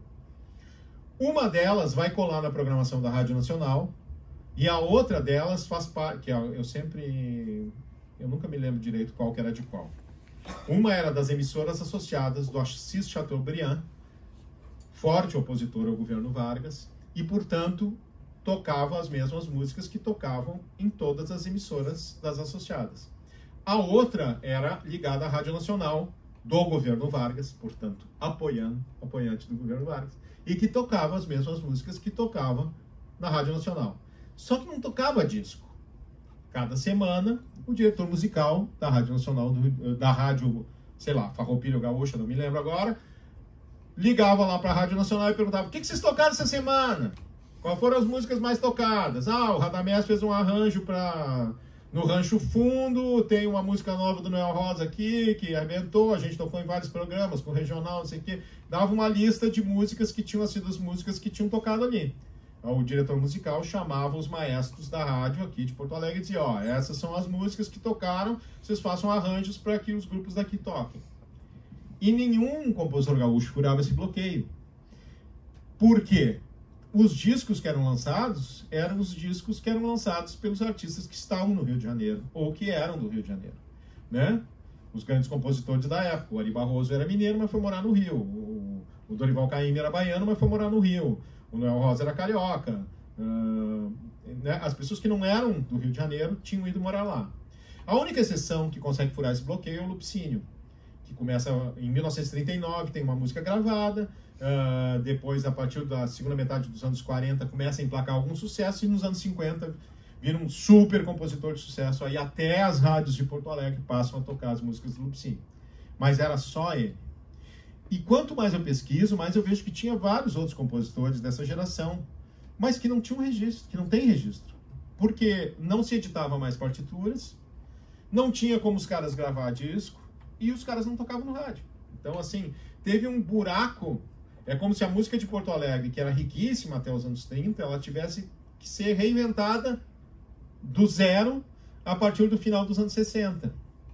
Isso é muito curioso porque quando eu entrevisto daí os músicos de Porto Alegre, bom, tem toda essa era do rádio, então, né? Toda essa era do rádio, riquíssima, tinha revistas, duas ou três revistas, cobrindo os acontecimentos do rádio do Rio Grande do Sul, falando dos cantores, dos músicos, só não falavam de uma coisa que, que ninguém sabia que existia em Porto Alegre, que era compositor, porque ninguém, né? Eu falei em 36, em 36 começa a chegar o samba aqui forte. Por quê? Porque em 1936 a companhia jornalística Caldas Júnior, que tinha o Correio do Povo, bota um novo jornal, que é a Folha da Tarde, e a Folha da Tarde vai ser uma das pioneiras no Brasil em cobrir uma coisa da qual até então ninguém se interessava em cobrir na imprensa, que é música popular. E a Folha da Tarde destaca um repórter negro, o Rivadavia de Souza, para cobrir e de alguma forma diz assim, cara, descobres o que, que tem de samba. Não é possível que não tenha samba em Porto Alegre ainda, né? E ele vai aonde? Vai no Bedel da Faculdade de Direito, que era o sujeito que era meu auxiliar de disciplina e que tinha um monte de sambas conhecidos pelo pessoal, mas que nunca tinha sido gravado, nada, que era o Lupicínio. E começa a fazer matérias com o Lupicínio. E aos poucos, algumas pessoas começam a cantar as músicas do Lupicínio. E daí, nessa segunda metade de anos 30, tem uma febre de samba na cidade que nem teve nos anos 80. Eu fiz faculdade nos anos 80. Todos os universitários gaúchos dos anos 80 queriam ter uma banda de rock na sua garagem. Todos os universitários gaúchos, que eram muito menos, da segunda metade dos anos 30, queriam ter um grupo de samba. Uh, inclusive, agora, recentemente, conversei muito com um que está com 100 anos, uma figuraça, e que era um dos que ia lá falar com o Lupicínio para pegar umas dicas, né? Uh, isso em 1939. E, e o, o, pessoal ia lá pegar, e daí dá uma bombada no samba. Só que não dá uma bombada nos compositores daqui, por esse motivo, que os compositores daqui não tinham como gravar. Se eles não gravavam, ninguém ouvia, ninguém conhecia as músicas. Se ninguém conhecia as músicas, a rádio não tocava. Porque rádio sempre, a partir do momento que a rádio passou a ser comercial em 1932, sempre tocou basicamente o que as pessoas querem ouvir. E o que as pessoas querem ouvir é o que elas já conhecem. E se não tem gravação, se elas não conhecem, como é que elas vão ouvir? Né? Então isso não é um fenômeno novo. E aí a gente chega nessa geração que daí, a partir de 1963, e aí a gente tem que pensar na música brasileira, aí teve em 1958 começa a bossa nova, né? E começa a entrar o rock. Em Porto Alegre também em Porto Alegre já em 59, a bossa nova é forte, e o rock também, no final dos anos 50, começo dos anos 60, tem gangue de motoqueiro com jaqueta de couro eh, no, em Ipanema, né? E começam a ouvir rock e tal, e começa a ter muitas bandas de rock em Porto Alegre, nesse começo de anos, de, de anos 60, no intervalo entre, o, entre os Beatles, isso é uma, uma época esquecida do rock, na verdade, entre, entre o sucesso uh, avassalador do Elvis e do Bill Haley e seus cometas, que fez muito sucesso no Brasil, mais do que no, nos Estados Unidos. Entre o sucesso gigantesco do, do, dessa primeira geração, Chuck Berry e Little Richard, ninguém sabia quem era aqui no Brasil. Mas El, os brancos, né? O Elvis e o Bill Haley e seus cometas. Entre eles e os Beatles, teve uma fase de rock instrumental, do qual a música que todo mundo conhece é a música dos Ventures, do Havaí 5.0. Pá, pá, pá, pá, pá, pá, pá, pá, pá, pá, pá. Teve muitas bandas de rock instrumental, de guitarras, que já eram chamadas de bandas de guitarra, entre esse final de anos 50 e começo dos anos 60, metade dos anos 60, né? E em Porto Alegre não foi diferente, teve muitas bandas disso. Quando eu falo muitas, é muitas mesmo. Uh, tanto que em 1966 teve um festival uh, nacional de bandas de guitarra, como chamava, e teve mil inscritos. Mil bandas inscritas em Porto Alegre. Então começa, começa a entrar esse rock que até então era basicamente instrumental. Era rock para dançar, quatro, cinco bandas se alternavam na mesma noite no clube, cada uma vinha com a sua Kombi, o seu equipamento e o seu Rode, que não se chamava Rode, não me lembro como é que se chamava, o nome é muito engraçado, eu me esqueci agora, que era o cara que montava o equipamento.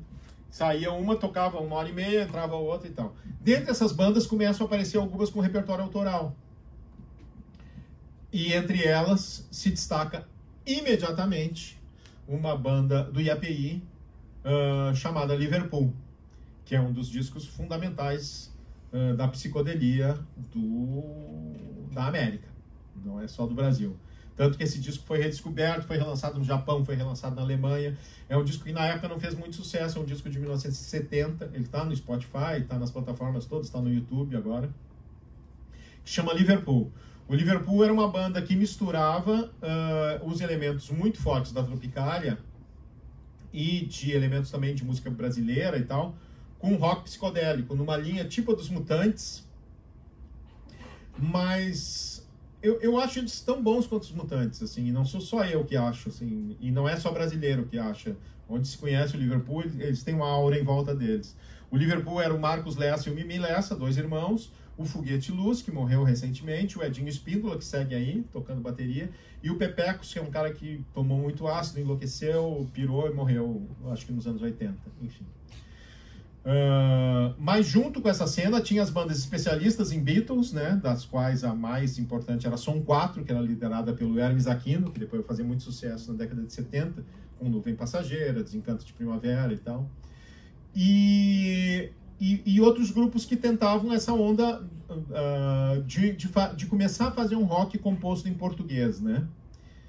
Isso final da segunda metade dos anos 60. Só que paralelo a isso, está surgindo em Porto Alegre também uma nova geração de compositores. Uma nova geração de compositores de MPB. Porque MPB era um conceito novo. Se começa a falar em MPB em 1965, a partir do primeiro festival de MPB uh, que a Elis ganha interpretando o Arrastão, do Edu Lobo e do, e do Vinícius de Moraes, em 65. Já tinha tido em Porto Alegre, em 1963, um festival, nesses mesmos moldes desse festival de 65. E a partir de 66, 67, vão ter dois grandes festivais aqui em Porto Alegre todos os anos: o Festival da Arquitetura e o Festival Sul Brasileiro da Canção Popular. E tem toda uma geração de compositores que vai aparecer nesse momento. A maior parte deles não seguiu a carreira de compositor. Eu acho que o nome mais importante que surgiu nessa época que seguiu a carreira foi o Raul Elvanger. Mas teve também o César Dorfman, que era muito importante nesse momento, tinha um monte de canções de sucesso, mas depois foi ser arquiteto. Uh, tinha o Sérgio Napi, já como letrista, né? O Sérgio Napi, que depois foi o cara que criou a Casa de Cultura Mário Quintana, depois lançou muitos discos na década de 70, 80 como letrista, foi um dos mentores do, do grupo Canto Livre. Tem um outro sujeito que só foi gravar um disco no final dos anos 80, que é o João Palmeiro, o João da Benga, o Luiz Mauro, uh, um monte de compositores de MPB que vinham formados uh, a partir da escola de violão e bossa nova de um sujeito chamado Zé Gomes, que, tinha, que foi a primeira escola de, de, de violão de bossa nova de Porto Alegre, no começo dos anos 60. E qual é o único registro que se tem desses caras de gravação? Nos dois primeiros, não, no terceiro e no quarto discos, de uma jovem cantora, que daí a gente está no começo dos anos 60, tem uma outra onda de, de crianças prodígios, só que nesse momento, final dos anos 50, começo dos anos 60, essas crianças prodígios são cantoras. Cantoras que se tornam muito populares e muito e que são já muito boas com 13, 14 anos. Três delas foram as principais dessa geração. A Maria Helena Andrade, que está viva aí, mas não canta mais, uh, porque não quer, não é que ela esteja doente.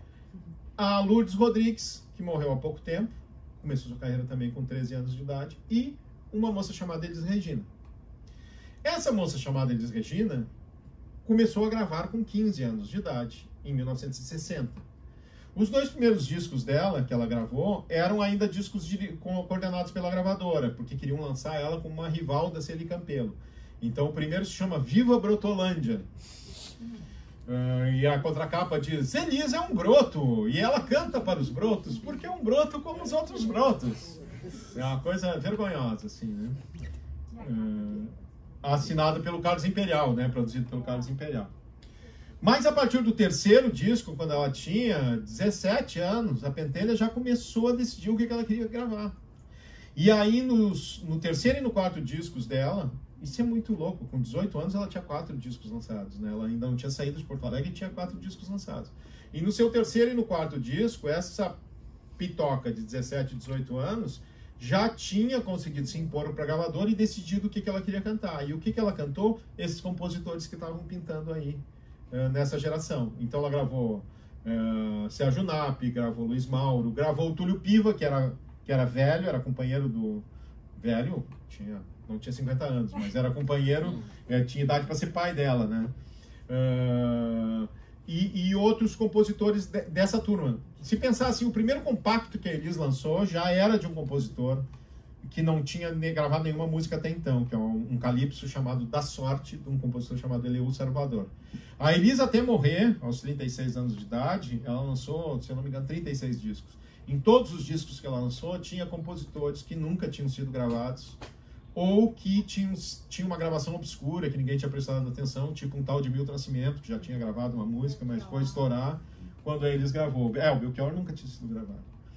Então, te, tinha esse faro. E a Elis foi muito importante nessa época, nessa primeira metade de anos 60, ela vai embora daqui em 1964, justamente por serem os únicos registros que existem desses compositores dessa turma. Que vão aos poucos abandonando a música porque era muito difícil ser músico nesse momento. Ou o cara tocava baile, e aí os músicos de rock conseguiam sobreviver, porque aí o baile tinha virado baile rock, né? Onde antes tinha uma orquestra de 18, 20 músicos, tinha quatro, cinco com guitarras tocando pelo mesmo custo, né? Aliás, por muito, muito mais barato, né? Muito mais barato. Então, e, e, isso também foi uma grande quebra. A mágoa que os músicos dessa geração têm com o pessoal do rock. Eu tinha um sogro baterista de jazz band, né? De, de orquestra, né? E ele dizia, não, depois que os Beatles vieram, acabou tudo. Os Beatles acabaram com... Porque realmente acabou o mundo deles, né? Quando entraram os Beatles e as bandas de guitarra, o mundo deles acabou. Uh, e aí Porto Alegre, no, nesse começo de anos 70, ela começa a como se partisse do zero, porque o que eu fico muito impressionado quando eu falo com os caras, e eu venho pesquisando isso há 30 anos, então eu falei com muita gente que já morreu, né? Uh, e os caras dessa época, dessa geração, por exemplo, César Dorfman, que está aí vivo, uh, super bem e tal, eles, ou o Nelson Coelho de Castro, que é mais jovem, mas chegou a conviver com essa turma, o o Jerônimo Jardim, que morreu há pouco e conviveu bastante com essa turma, era assim, eles não davam bola para esses caras. Eles não queriam saber. O Lupicínio era um cara lá, entendeu? Era como se realmente Porto Alegre não tivesse tido música antes. Otávio Dutra, então, ninguém nunca tinha ouvido falar. Radamés, não é nada. Né? Então foi, foi como se a música de Porto Alegre nascesse de novo, fosse reinventada a partir da década de 70. E é o primeiro. Isso é muito recente, gente. Então, assim, inclusive, eu fiz o meu mestrado sobre o ano de 1975 e os almôndegas como figura central. Em 1975, acontece em Porto Alegre uma série de coisas que vão se encadeando umas nas outras. Primeiro é que tinha, desde 1972, um festival que era um Musipuc, que era um festival da PUC, onde pintavam novos artistas e tal, e, e de repente começou a pintar muita gente boa tinha um sujeito chamado Fernando Ribeiro, que era o que ganhava todos os Musipuc, inclusive a partir de um momento virou órgão curto, porque ele não podia mais concorrer, porque ele ganhava todos. O Fernando chegou a gravar alguns discos pela Isaek, essa gravadora que começa em 1975 e depois por uma gravadora do Rio. Mas depois abandonou a música, foi sentando de estúdio e tal. Mas junto com essa geração do Fernando, tinha vários outros grupos que começavam a aparecer. Entre eles, uma turma de uns 20 e tantos caras, que não tinham nome ainda, que vinham do sul do estado, basicamente de Pelotas e de Jaguarão, que veriam depois, quando definiram quantos eram e ficaram em cinco, a se chamar de almôndegas. Uh, e aí, nesse Musipuc de 1975, é um Musipuc especialmente cheio de música boa. E aí, tinha um sujeito chamado Júlio First, que segue no ar, na Rádio Itapema, FM. O Júlio estava na época na Rádio Continental, que era uma rádio muito importante daqui, e ele viu aquela turma toda e teve um estalo. Uh, as calças Lee queriam trazer para o Brasil, as, uh, fazer uma campanha uh, de lançamento das calças Lee aqui com um festival itinerante que tinha nos Estados Unidos também, que se chamava Vivendo a Vida de Lee. Era um festival que só tocava música country americana porque eles achavam que calça calçalheira era ligado com essa coisa caipira americana. O Júlio conseguiu convencer os caras que era melhor do que tocar. Vamos fazer esses festivais vivendo a vida de Lee, mas vamos tocar os músicos de Porto Alegre. Por quê? Porque ele estava começando a gravar esses caras que ele tinha visto no Musipuc, ele levava para o estúdio da rádio, os caras gravavam as músicas, enfim, num, com um microfone só, e essas músicas agradavam muito eram, por exemplo, Nuvem Passageira, era, por exemplo, Vento Negro, eram ah, ah, as músicas dessa turma, do Zé Flávio, dos Almôndegas, uh, do, do Hermes Aquino. E essas músicas começaram a tocar na programação e, e os caras toparam esse festival. E a primeira edição desse festival, em 1975, no, no Araújo Viana, lotou o Araújo Viana durante seis ou oito horas, uma coisa assim. Lotou de ficar gente de fora.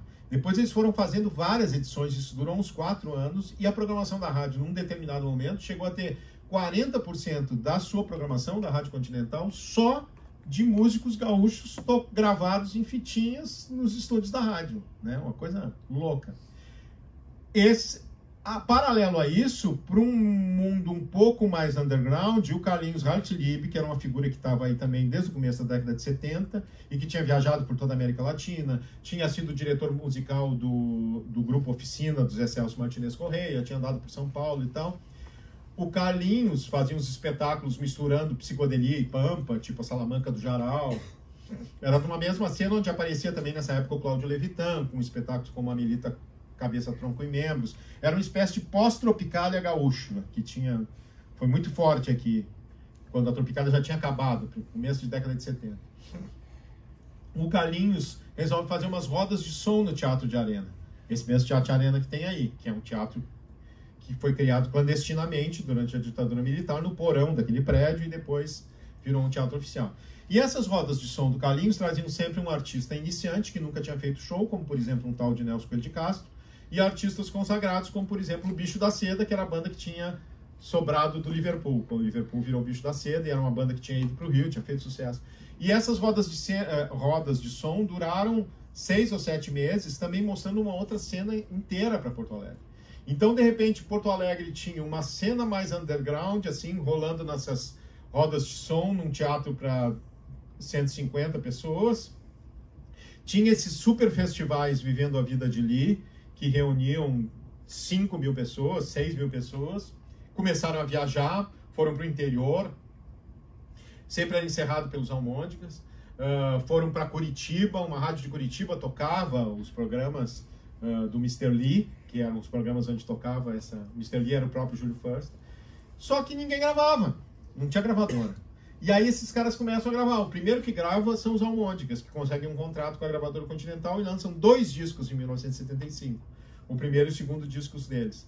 E pela primeira vez, desde os anos 20, as pessoas uh, normais, entre aspas, de Porto Alegre, ou seja, quem não é do gueto, quem não é especialmente interessado no que está efervescendo pela cidade, tomam conhecimento em massa de artistas locais, que são os almôndegas.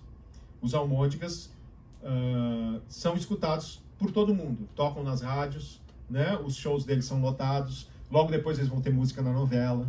Né? E o Hermes Aquino vai na mesma onda, emplaca duas músicas em novela, começa a tocar também. O Hermes Aquino vinha tentando desde o final dos anos 60. Então é um momento em que começa, e aí justamente nessa época a Isaek, que era uma gravadora ligada à Igreja Luterana, monta um, era um estúdio ligado à Igreja Luterana, monta uma gravadora para lançar artistas locais e eles lançam muitos discos. Muitos discos durante um período de 3, 4 anos. Geraldo Flack e o Cepé, que é dono do 373 hoje, na cabeça do, do projeto, né?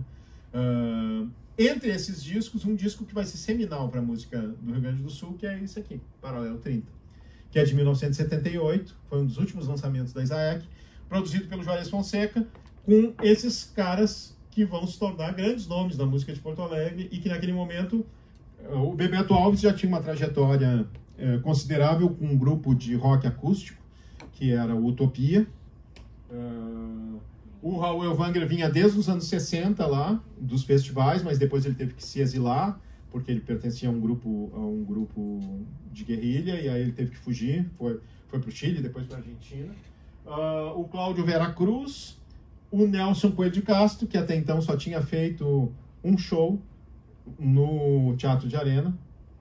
Uh, eu não me lembro o nome do show, mas era uma maravilha que, entre outras coisas do show, tinha um garrafão de cachaça que passava entre o público. Uh, e quem que tá faltando aí? O Nando Dávila. Eu acho que são esses, né? São... Ah, e o Carlinhos Hartlib, que tem as, talvez as músicas mais legais do disco. E, e toda a cena de Porto Alegre desse momento está nesse disco. Esse disco é um disco maravilhoso, difícil de achar, assim, uh, porque a Isaac prensou e tal. Quem comprou na época comprou. Uns 10 anos atrás teve uma notícia que correu de boca em boca. Gente, a multissom da Rua da Praia tá com os discos da Isaac. A gente foi correndo lá, comprou, todo mundo. Eu comprei cinco. Uh, e, e, já acabou de novo, porque alguém tinha achado um depósito desses discos, mas ele não tá no Spotify. Eu acho que ele não tá nem sei se tem no YouTube, depois vocês procurem para mim, mas é um disco espetacular. E, bom, dessa geração, que é a geração que na virada dos anos 70 para os anos 80 vai criar essa música popular gaúcha que o pessoal chama, muita gente chama, eu odeio o termo MPG, né?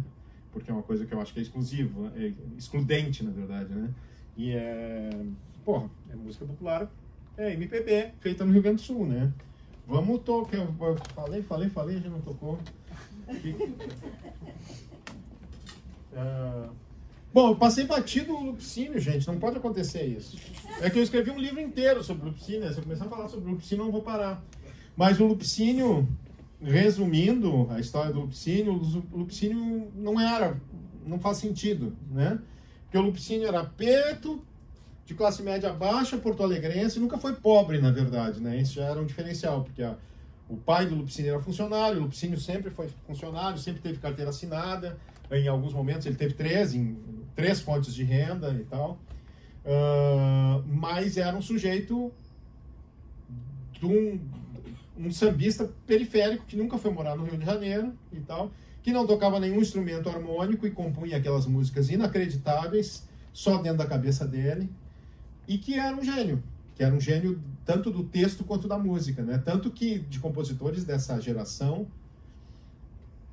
eu não me lembro de nenhum outro que volta que como Lupicínio, volta e meia tem algum projeto instrumental tocando só as músicas do cara. Lupicínio sempre teve isso. A cada tanto alguém grava um disco instrumental só de músicas do Lupicínio, porque elas são riquíssimas musicalmente, né? E estava tudo na cabeça dele, né? Ele compunha na cabeça dele. Como ele não tocava nenhum instrumento musical, isso também fazia com que as músicas dele fossem mais originais, porque não se enquadravam nos padrões de quando tu toca um instrumento, um samba. Ah, uma harmonia de samba é isso aqui, toca esse acorde, depois toca outro, depois toca outro, depois toca outro, aí fecha, volta para esse aqui e conclui. Aí tem a segunda parte. Ele não tinha essa marra. Então, a imensa maioria das músicas do Lupicínio não tem esse esquema estrofe e refrão que tem a imensa maioria das músicas da geração dele. E elas têm sacadas de genialidade, de relação de letra com música, que só caras tipo Chico Buarque e do Lobo têm são caras que estudaram muita música e muita teoria, né? Muita, muita literatura. Eu dou sempre esse exemplo, só para resumir, assim, que o Chico e o Edu Lobo compuseram uma canção que todos vocês conhecem, que é Beatriz, né? Olha, será que ela é bela? Então, a nota mais aguda da canção composta por Edu Lobo, que estudou música nos Estados Unidos, numa das melhores faculdades, e Chico Buarque, que é filho do Sérgio Buarque, que tem uma formação e que depois soube recentemente que o Chico também estudou música depois de uma certa idade. Esses dois cabeções de alta formação intelectual compuseram uma música cuja nota mais aguda está na palavra céu e a nota mais grave está na palavra chão. O Lupicínio fez várias dessas sem nunca ter estudado nada. Você pega uma música como Torre de Babel, e aí eles vão construindo a torre, a melodia da, vai subindo junto com a construção da torre, e ou então quando o cara está completamente arrasado, destroçado, atirado ao chão numa outra canção, é justamente nesse chão que está a nota mais grave, ou quando ele faz uma pergunta, quando a gente faz uma pergunta, a melodia sobe, né? Se eu te perguntar, você sabe o que é ter um amor, meu senhor? Ter loucura por uma mulher? A melodia sobe. Você sabe o que é ter um amor, meu senhor? Ter loucura por uma mulher? essa melodia da fala sobe. Eu posso afirmar isso, né? Você sabe o que é ter um amor, meu senhor. Ter loucura por uma mulher. Eu estou afirmando essa melodia baixa. E aí a música do Lupicínio tem, você sabe o que é ter um amor, meu senhor, ter loucura por uma mulher, que é uma pergunta, é claramente uma pergunta. Muito compositor, muito mais estudado que ele, erra nessa. Né, de fazer uma pergunta que só te, só te dá conta que a pergunta quando tu vai ler a letra tem um ponto de interrogação, porque a melodia não está te perguntando. Então, essas grandes sacadas de gênio que ele tem, não tem nenhum. Ele, ele não erra nunca nisso, nessa relação de música e letra. É o que faz com que o Lupicínio, tendo morrido em 1974, nunca tenha deixado de ser gravado. Mesmo com toda a coisa machista dele, ele era mais. Não, eu sempre digo que a gente tem que dar o desconto da época, né? Não dá para pensar uma época com a cabeça da outra, mas mesmo dando esse desconto, o Lupicínio era mais machista do que a média da sua época. Mesmo com isso, ele segue sendo sempre regravado, inclusive por mulheres, muitas vezes por mulheres. Curiosamente, grande, muitos dos livros que tem escrito sobre ele são escritos por mulheres. E, e porque é gênio, né? É a coisa do gênio mesmo, do cara, do cara que consegue construir uma obra única, uh, com melodias inconfundíveis e com sacadas de letra brilhantes, assim, né? E quem, quem diz isso não sou eu, né? O, o Homem de Melo, que não era nem carioca nem gaúcho, portanto, ele estava em território neutro. O Zusa paulista, ele não ia puxar a brasa nem para os gaúchos nem para os cariocas, ele afirma com todas as letras, afirmou várias vezes em vários livros, que o Lupicínio foi o maior mestre de samba canção. Isso significa que para os Homem de Melo, nem carioca nem gaúcho, o Lupicínio é maior do que o Cartola, é maior que o Nelson Cavaquinho, é maior do que o Noel Rosa, é maior do que o Ari Barroso no quesito samba canção um gênero que ele levou ao auge, né? E que é um gênero que ele transformou na música romântica brasileira por excelência, a partir da segunda metade dos anos 40, que até então a música romântica era valsa. Quando os sambas canção do Lupicínio começaram a fazer sucesso, a partir do final dos anos 40, a música romântica brasileira passou a ser o samba canção, por causa dele, que nunca saiu de Porto Alegre, ao contrário de absolutamente todos os outros compositores nascidos na primeira metade do século XX, do Ari Barroso, que era mineiro, ao Gilberto Gil, baiano, todos saíram dos seus estados para ir para o Rio de Janeiro, para se tornarem nomes nacionais. O único que não fez isso foi o Lupicínio, e se tornou um nome nacional, um dos grandes compositores. Enfim, é uma... Para saber mais sobre isso, leia um Lupicínio, uma biografia musical. uh, eu vou fazer uma dele que eu acho, assim, nossa senhora que é uma música que ele compôs em 1939, quando começou a Segunda Guerra Mundial. Né? E que é uma daquelas invertidas que ele dá, que são. Tu achar que ele está falando de uma coisa e ele está falando de outra.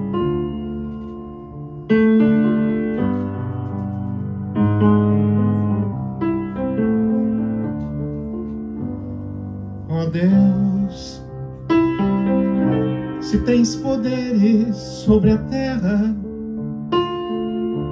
deves dar fim a essa guerra e aos desgostos que ela traz.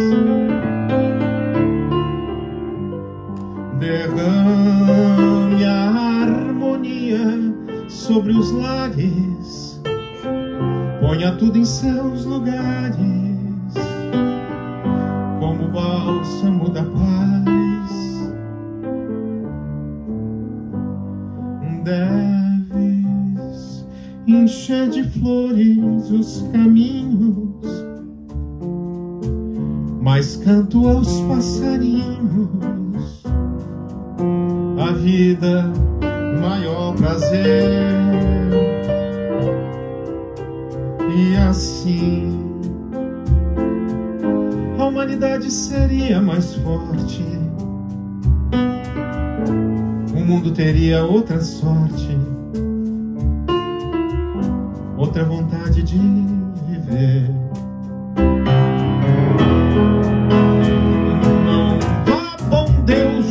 Julgar que a guerra que estou falando é onde estão se encontrando tanques, fuzis e canhões.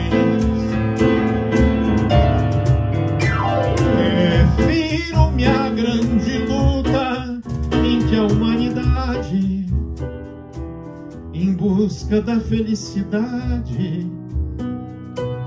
Combate pior que leões.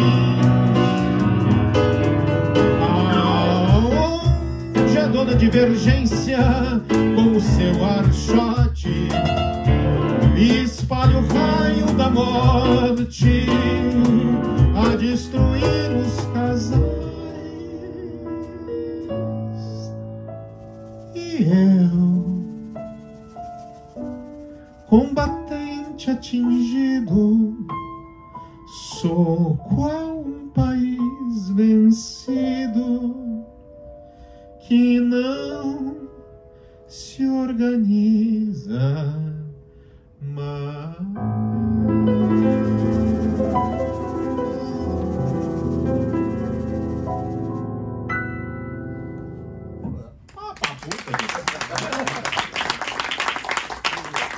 É muito impressionante, né? Porque o cara pega e constrói um. Tem uma outra canção dele que eu não vou tocar aqui porque não dá tempo, enfim, que é Sozinha. Não sei se vocês conhecem, que a primeira parte da letra ela é toda em português errado e o cara diz, diz assim: vivia sozinho num ranchinho uh, velho feito de supapo, cantar dela era um sapo, enfim, é uma mulher completamente fodida na vida e tal. E ele ficou com pena uh, trouxe ela para dentro de casa, arrumou a vida dela, botou um rádio, pôs luz em vez de candeeiro, e sabe o que, que ela fez? Ela fugiu com um doutor que eu mesmo chamei e paguei para curar os seus bichos de pé.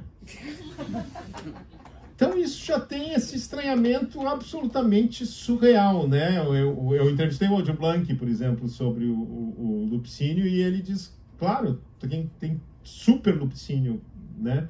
Inclusive o band-aid no calcanhar do dois para lá, dois para cá é um eco do doutor que dos bichos de pé dessa canção. essa coisa de colocar o grotesco, assim, plá. Isso já seria suficiente. A melodia da música dessa primeira parte é incrível, a história é incrível. Só que daí, o Lupicínio faz uma coisa que é absolutamente rara em música popular. Ele troca o narrador. E aí tu descobre que essa história não era esse cara que estava contando. Porque daí uma outra voz de narrador diz: Assim me contou uma, essa história um pobre matuto que eu encontrei e me contou essa história triste. E aí o cara vai na segunda parte da letra em português perfeito, ao contrário da primeira. E ainda, como se não bastasse, no final ele ainda remata com uma rima rara que ele diz que a, a mulher é sempre mulher, se você pede uh, se pede uma flor, ela exige uma estrela, e se por acaso não obtê-la, se vai com o primeiro homem que lhe der, né? Uma rima interna digna do Caetano, né? Assim, digna do pavão de Cristo na maravilha, vixe Maria, Mãe de Deus. Então, esse tipo de sacada intuitiva, né? Independente do conteúdo machista, independente da coisa toda, né? Uh, uh, super, enfim. Essa turma deles, inclusive, é uma outra coisa interessante. Eu, eu conversei com muitos dessa época, né? Muitos dessa turma. Lupicínio não, mas com muitos dessa turma. E eles tinham entre eles, essa turma da boemia porto-alegrense dos anos 40, 50, 60, à noite, né? Porto Alegre era uma à noite e a outra durante o dia. Primeiro grande diferencial, era uma boemia funcionária. Durante o dia eles trabalhavam, ao contrário da boemia carioca, que era malandra, que, enfim, ninguém trabalhava. Era gente que trabalhava e que à noite ia para a noite. E que não tinha preconceito uh, de cor nem de sexualidade. Um cara, um melhor amigo do Lupicínio, um, um dos dois melhores amigos do Lupicínio, o Rubens Santos, era gay, assumidamente gay na turma, né? Não para fora, mas na turma. E nunca foi tratado diferente por isso. Mas as mulheres eram tratadas muito diferente. Daí quando eu fui pegar os depoimentos das mulheres, ambas já falecidas, né? A Zila Machado e a Lourdes Rodrigues, ambas diziam, como que não tinha preconceito? É claro que tinha preconceito, a gente sofria muito preconceito. Né? Então, assim, a, o preconceito com ser mulher era mais forte ainda do que o preconceito com ser preta. Então, assim, é claro, todo mundo sabe, é mais difícil ser mulher preta do que homem preto, mas era muito. É, nem essa barreira eles conseguiam ultrapassar, né? Eles eram. Essa turma que era tão arejada, tão para frentex em tantas áreas, na, no que se dizia a respeito à moral uh, com relação às mulheres, era, era muito retrógrada, né, com relação ao seu tempo. Uh, que, que tempo nós temos aí, Eduardo? Cinco minutos. Cinco minutos? Bom, aí eles casaram, que não, aí casaram e viveram felizes para sempre. Uh, bom, vamos chegar rapidamente então nessa geração. É, nós estamos na década de 70, mas vamos chegar. Eu não vou além do ano 2000, isso eu sempre falo. Mesmo nos livros que eu vou escrever e tal, eu não vou eu não vou pegar, quer dizer, eu vou contar até o final a trajetória dos artistas que eu estou contando as histórias, né? Mas eu não vou pegar nenhum artista surgido depois do ano 2000, porque eu acho que é muito perto para tu conseguir ter uma perspectiva histórica do que, que é realmente relevante. Eu vejo as coisas que eu escrevi lá em 2003, 2004, como jornalista, a quantidade de coisa que eu errei muito, assim, né? Uh, achava que ia dar em grande coisa não deu nada, ou coisa que eu não dei bola e que e que acabou virando muito importante ou muito legal. Então, o meu corte de pesquisa é artista surgido até o ano 2000, ou seja, termina com a comunidade ninjitsu e o Diamandu. É, são os, as, as, as, últimas coisas aparecidas, né? Uh, mas tem essa geração surgida, no, bom, tem todo o rock gaúcho dos anos 80, que nós não vamos nem começar a falar porque não vai dar, vocês perguntem hoje de noite, daí pro Lúcio, ele que se vire. E o... Mas tem essa geração dos cantautores, né? Que é um termo que os, argent... que os, ita... os argentinos pegaram dos italianos, né? Cantautori, e que eu acho muito bom para falar, porque são os, os caras que cantam suas próprias músicas, né? Uh, isso é uma novidade na Argentina, né? Isso é uma coisa que tem 20 e poucos anos e que no Brasil a gente tem desde os anos 60. É basicamente a MPB toda de cantautores, né? Porque na Argentina isso era muito separado até bem pouco tempo atrás. Ou o cara era do rock, ou era do, do folclore, ou era do tango, ou era do jazz, e o cara que compunha não cantava, a não ser os caras do rock. Enfim, era tudo muito separado. Mas a gente tem essa tradição. Os cantautores gaúchos na, dessa geração, da virada dos, da década de 70 para os anos 80, é que tem uma safra também que é, para mim, muito impressionante. Tanto da música instrumental quanto de compositores. Eu acho que só agora, nessa, nessa década de 2020, que tem uma geração aparecendo que para mim é tão interessante quanto essa que apareceu 40 anos atrás, cujos grandes expoentes uh, para mim e que, e que o tempo consagrou são o Ney Lisboa, o Nelson de Castro, que é muito menos conhecido do que o Ney hoje, né? O, o Vitor Ramil, que é bem mais novo do que eles, mas que começou muito cedo, e o Bebeto Alves, que já nos deixou, né? Imediatamente anterior tem essa geração do Gerônimo Jardim, do Raul Wanger e tal. Mas essa geração desses quatro caras, o Gelson Oliveira também, uh, o, o, surgido um pouco depois, o Totonho Villeroy, que, que virou uma coisa muito rara no Brasil, inclusive, que é o compositor profissional, que é o cara que trabalha composição sob encomenda e já compôs, assim, tem canções, centenas de canções gravadas por todo mundo, no mundo inteiro, uh, e que é um cara também que eu acho que é pouco lembrado quando se lembra, porque a, a carreira de a carreira do Totonho mesmo como artista de palco e de disco, ela nunca foi, nunca teve um, um fragmento do tamanho que ele tem como compositor, né? Nunca conseguiu fazer esse paralelo. E ele é um compositor, eu acho que só o Lupicínio foi mais gravado do que o Totonho. Antônio Villarreal hoje, né? Em termos de compositores gaúchos. Mas esses caras, como, né, para mim especialmente, essa trinca, e aí eu tô falando de gosto pessoal de mim, de eu que sou compositor também, né? Mas essa trinca Nelson, Ney e Vitor Ramil, e mais especialmente do que todos o Nelson, uh, porque criou um mundo né? Ele é diferente de qualquer outra coisa, não tem nada parecido com o Nelson, ninguém compõe como o Nelson. Eles colocam essa discussão, eles elevaram muito a discussão do que se compunha em Porto Alegre até então. Né? E se a gente pensar mesmo em termos de geração no Brasil, entre os artistas surgidos depois dessa geração uh, lá dos anos 40, Chico, Caetano, Gil, Milton Nascimento, eu acho que eles estão na ponta, né? Eles são dos melhores artistas brasileiros da sua geração. O Vitor, o Ney, o Nelson, uh, o Gelson também e tal, o Totonho por uma outra praia, né? Eles estão na ponta disso. E aí é aquela outra coisa também, daí são outras questões, né? Desse, desse, de, um pouco desse encafifamento, em si mesmo, ensimesmamento gaúcho, né? Essa relação meio dodói que, que gaúcho tem, meio psicanalítica, assim, de se achar, de achar que as pessoas acham a gente menos e, portanto, a gente tem que se achar mais, e, ou então não vamos dar bola para o Brasil, uh, porque o Brasil não dá bola para a gente, enfim.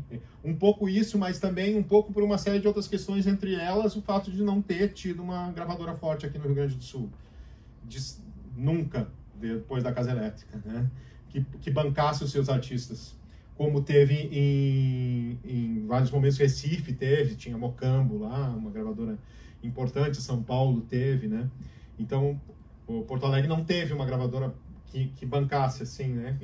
De uma forma importante, então esses caras são menos conhecidos. O Vitor não, acho que o Vitor tem o seu tamanho nacional, que é o tamanho de um artista como ele, que não é um artista de massa, mas é um cara conhecido, respeitado, que lota teatro em qualquer lugar do Brasil. Mas principalmente o Nelson e o Ney, fora daqui, e o Nelson inclusive aqui, não tem de jeito nenhum uh, o tamanho de público e de, e de importância, uh, o tamanho de público e de relevância na sociedade que eles poderiam ter considerando uh, a qualidade e a representatividade da arte que eles fazem. Então vou fazer, para fazer, para terminar, vamos fazer uma de cada um, né? Uma do Nerson e uma do Ney. Até porque o Giovanni Berti, que é o percussionista das estrelas, integra a banda de ambos, né? Então.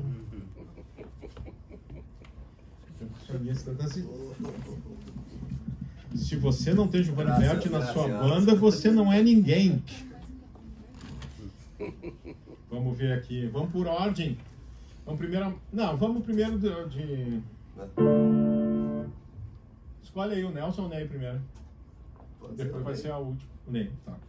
Essa música do Ney é um retrato daqueles dos anos 80, uh, do Ney Lisboa, uh, que chama Em, e é uma canção que eu acho que sintetiza tudo o que o Ney tem de melhor, que é uma visão absolutamente lúcida, ácida e cética com relação ao seu redor, né? Uh, a música é boa também, mas a letra é absolutamente incrível. Assim.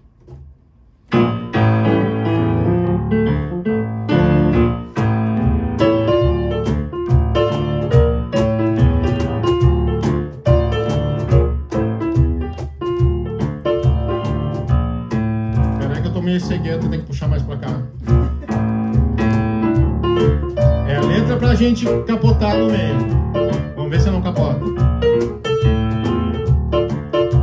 Nasci de uma família pobre, rodei pelo mundo procurando alguém que me dissesse o que fazer, me desse alguma chance de vencer. Um inimigo invisível que eu tinha. Cabeça e cauda do dragão, os olhos do Alain Delon. De dia atrás de mim, de noite se escondia no porão. Ei!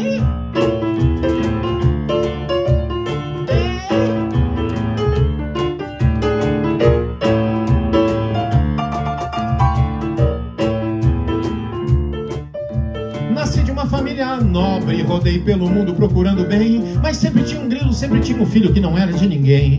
Bebia todo o vinho do sermão, achava até que não, mas tudo bem, porém, um dia aquele cara do porão cruzou no meu caminho e veio perguntar qual é. Hã? Meu amigo, a felicidade move a fé, porque ninguém quer dar ao povo uma colher. Ei!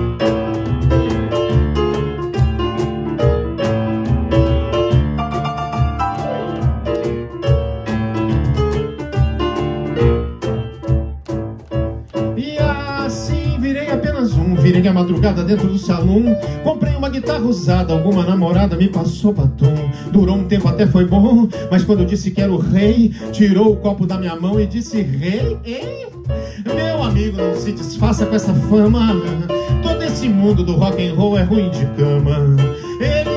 Querem diversão e bolo, eles querem tudo e mais um pouco. Eles querem crime, rabandolo e champanhe. Eles querem frases nos jornais, eles querem parecer sinceros demais.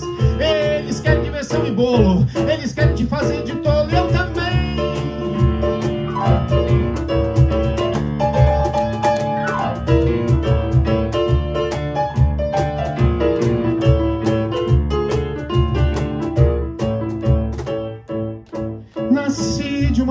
Podre, rodei pelo mundo procurando mal. Roubei a espada de São Jorge, uma betoneira para fazer mingau. De um inimigo invencível que eu tinha. O rosto embaixo do chapéu, pensei que era um vizinho meu. Mas quando olhei na cara dele, ele era eu.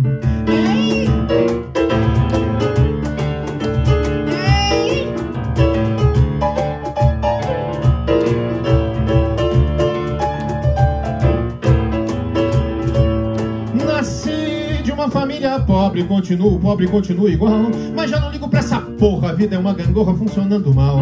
E sempre vai pintar alguém, dizendo que é pro nosso bem, que sabe um jeito diferente de fazer neném.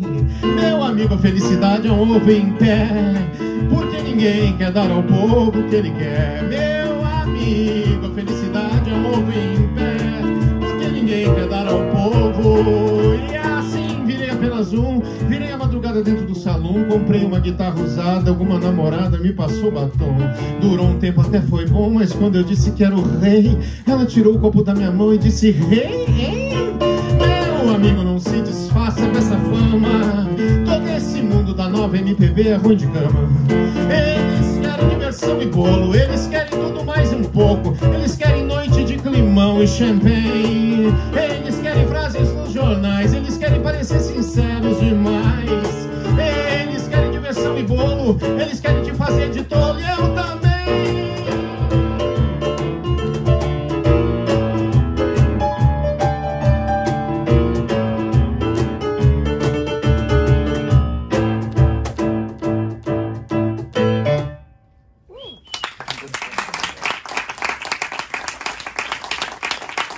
Então isso aqui é para terminar todo mundo cantando junto. Mas vão aprender fácil. Né? Nelson, tá?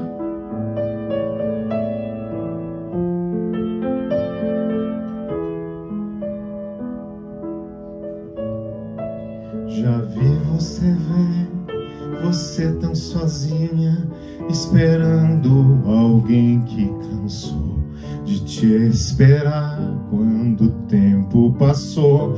Faz o tempo apagar esse amor. Saudade de nada é tão triste sentir. Vontade de não mais querer. Mas se um novo amor vier, eu vou até meu coração aprender. A carnaval lá vou eu, errou a sonhar. Quem sabe o destino da rua me dá. A sombra da não esconda ninguém. Será que eu serei de alguém? Ó Colombina, não repete o teu fim. Deixa Pierrot por um alequim no teu coração.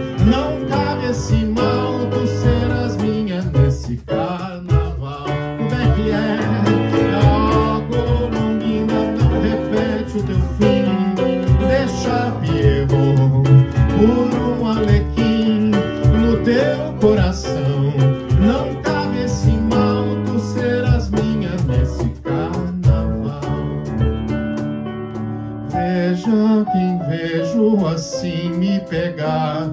Um sonho, um mistério sem par, sem par. A serpentina que eu joguei sabia toda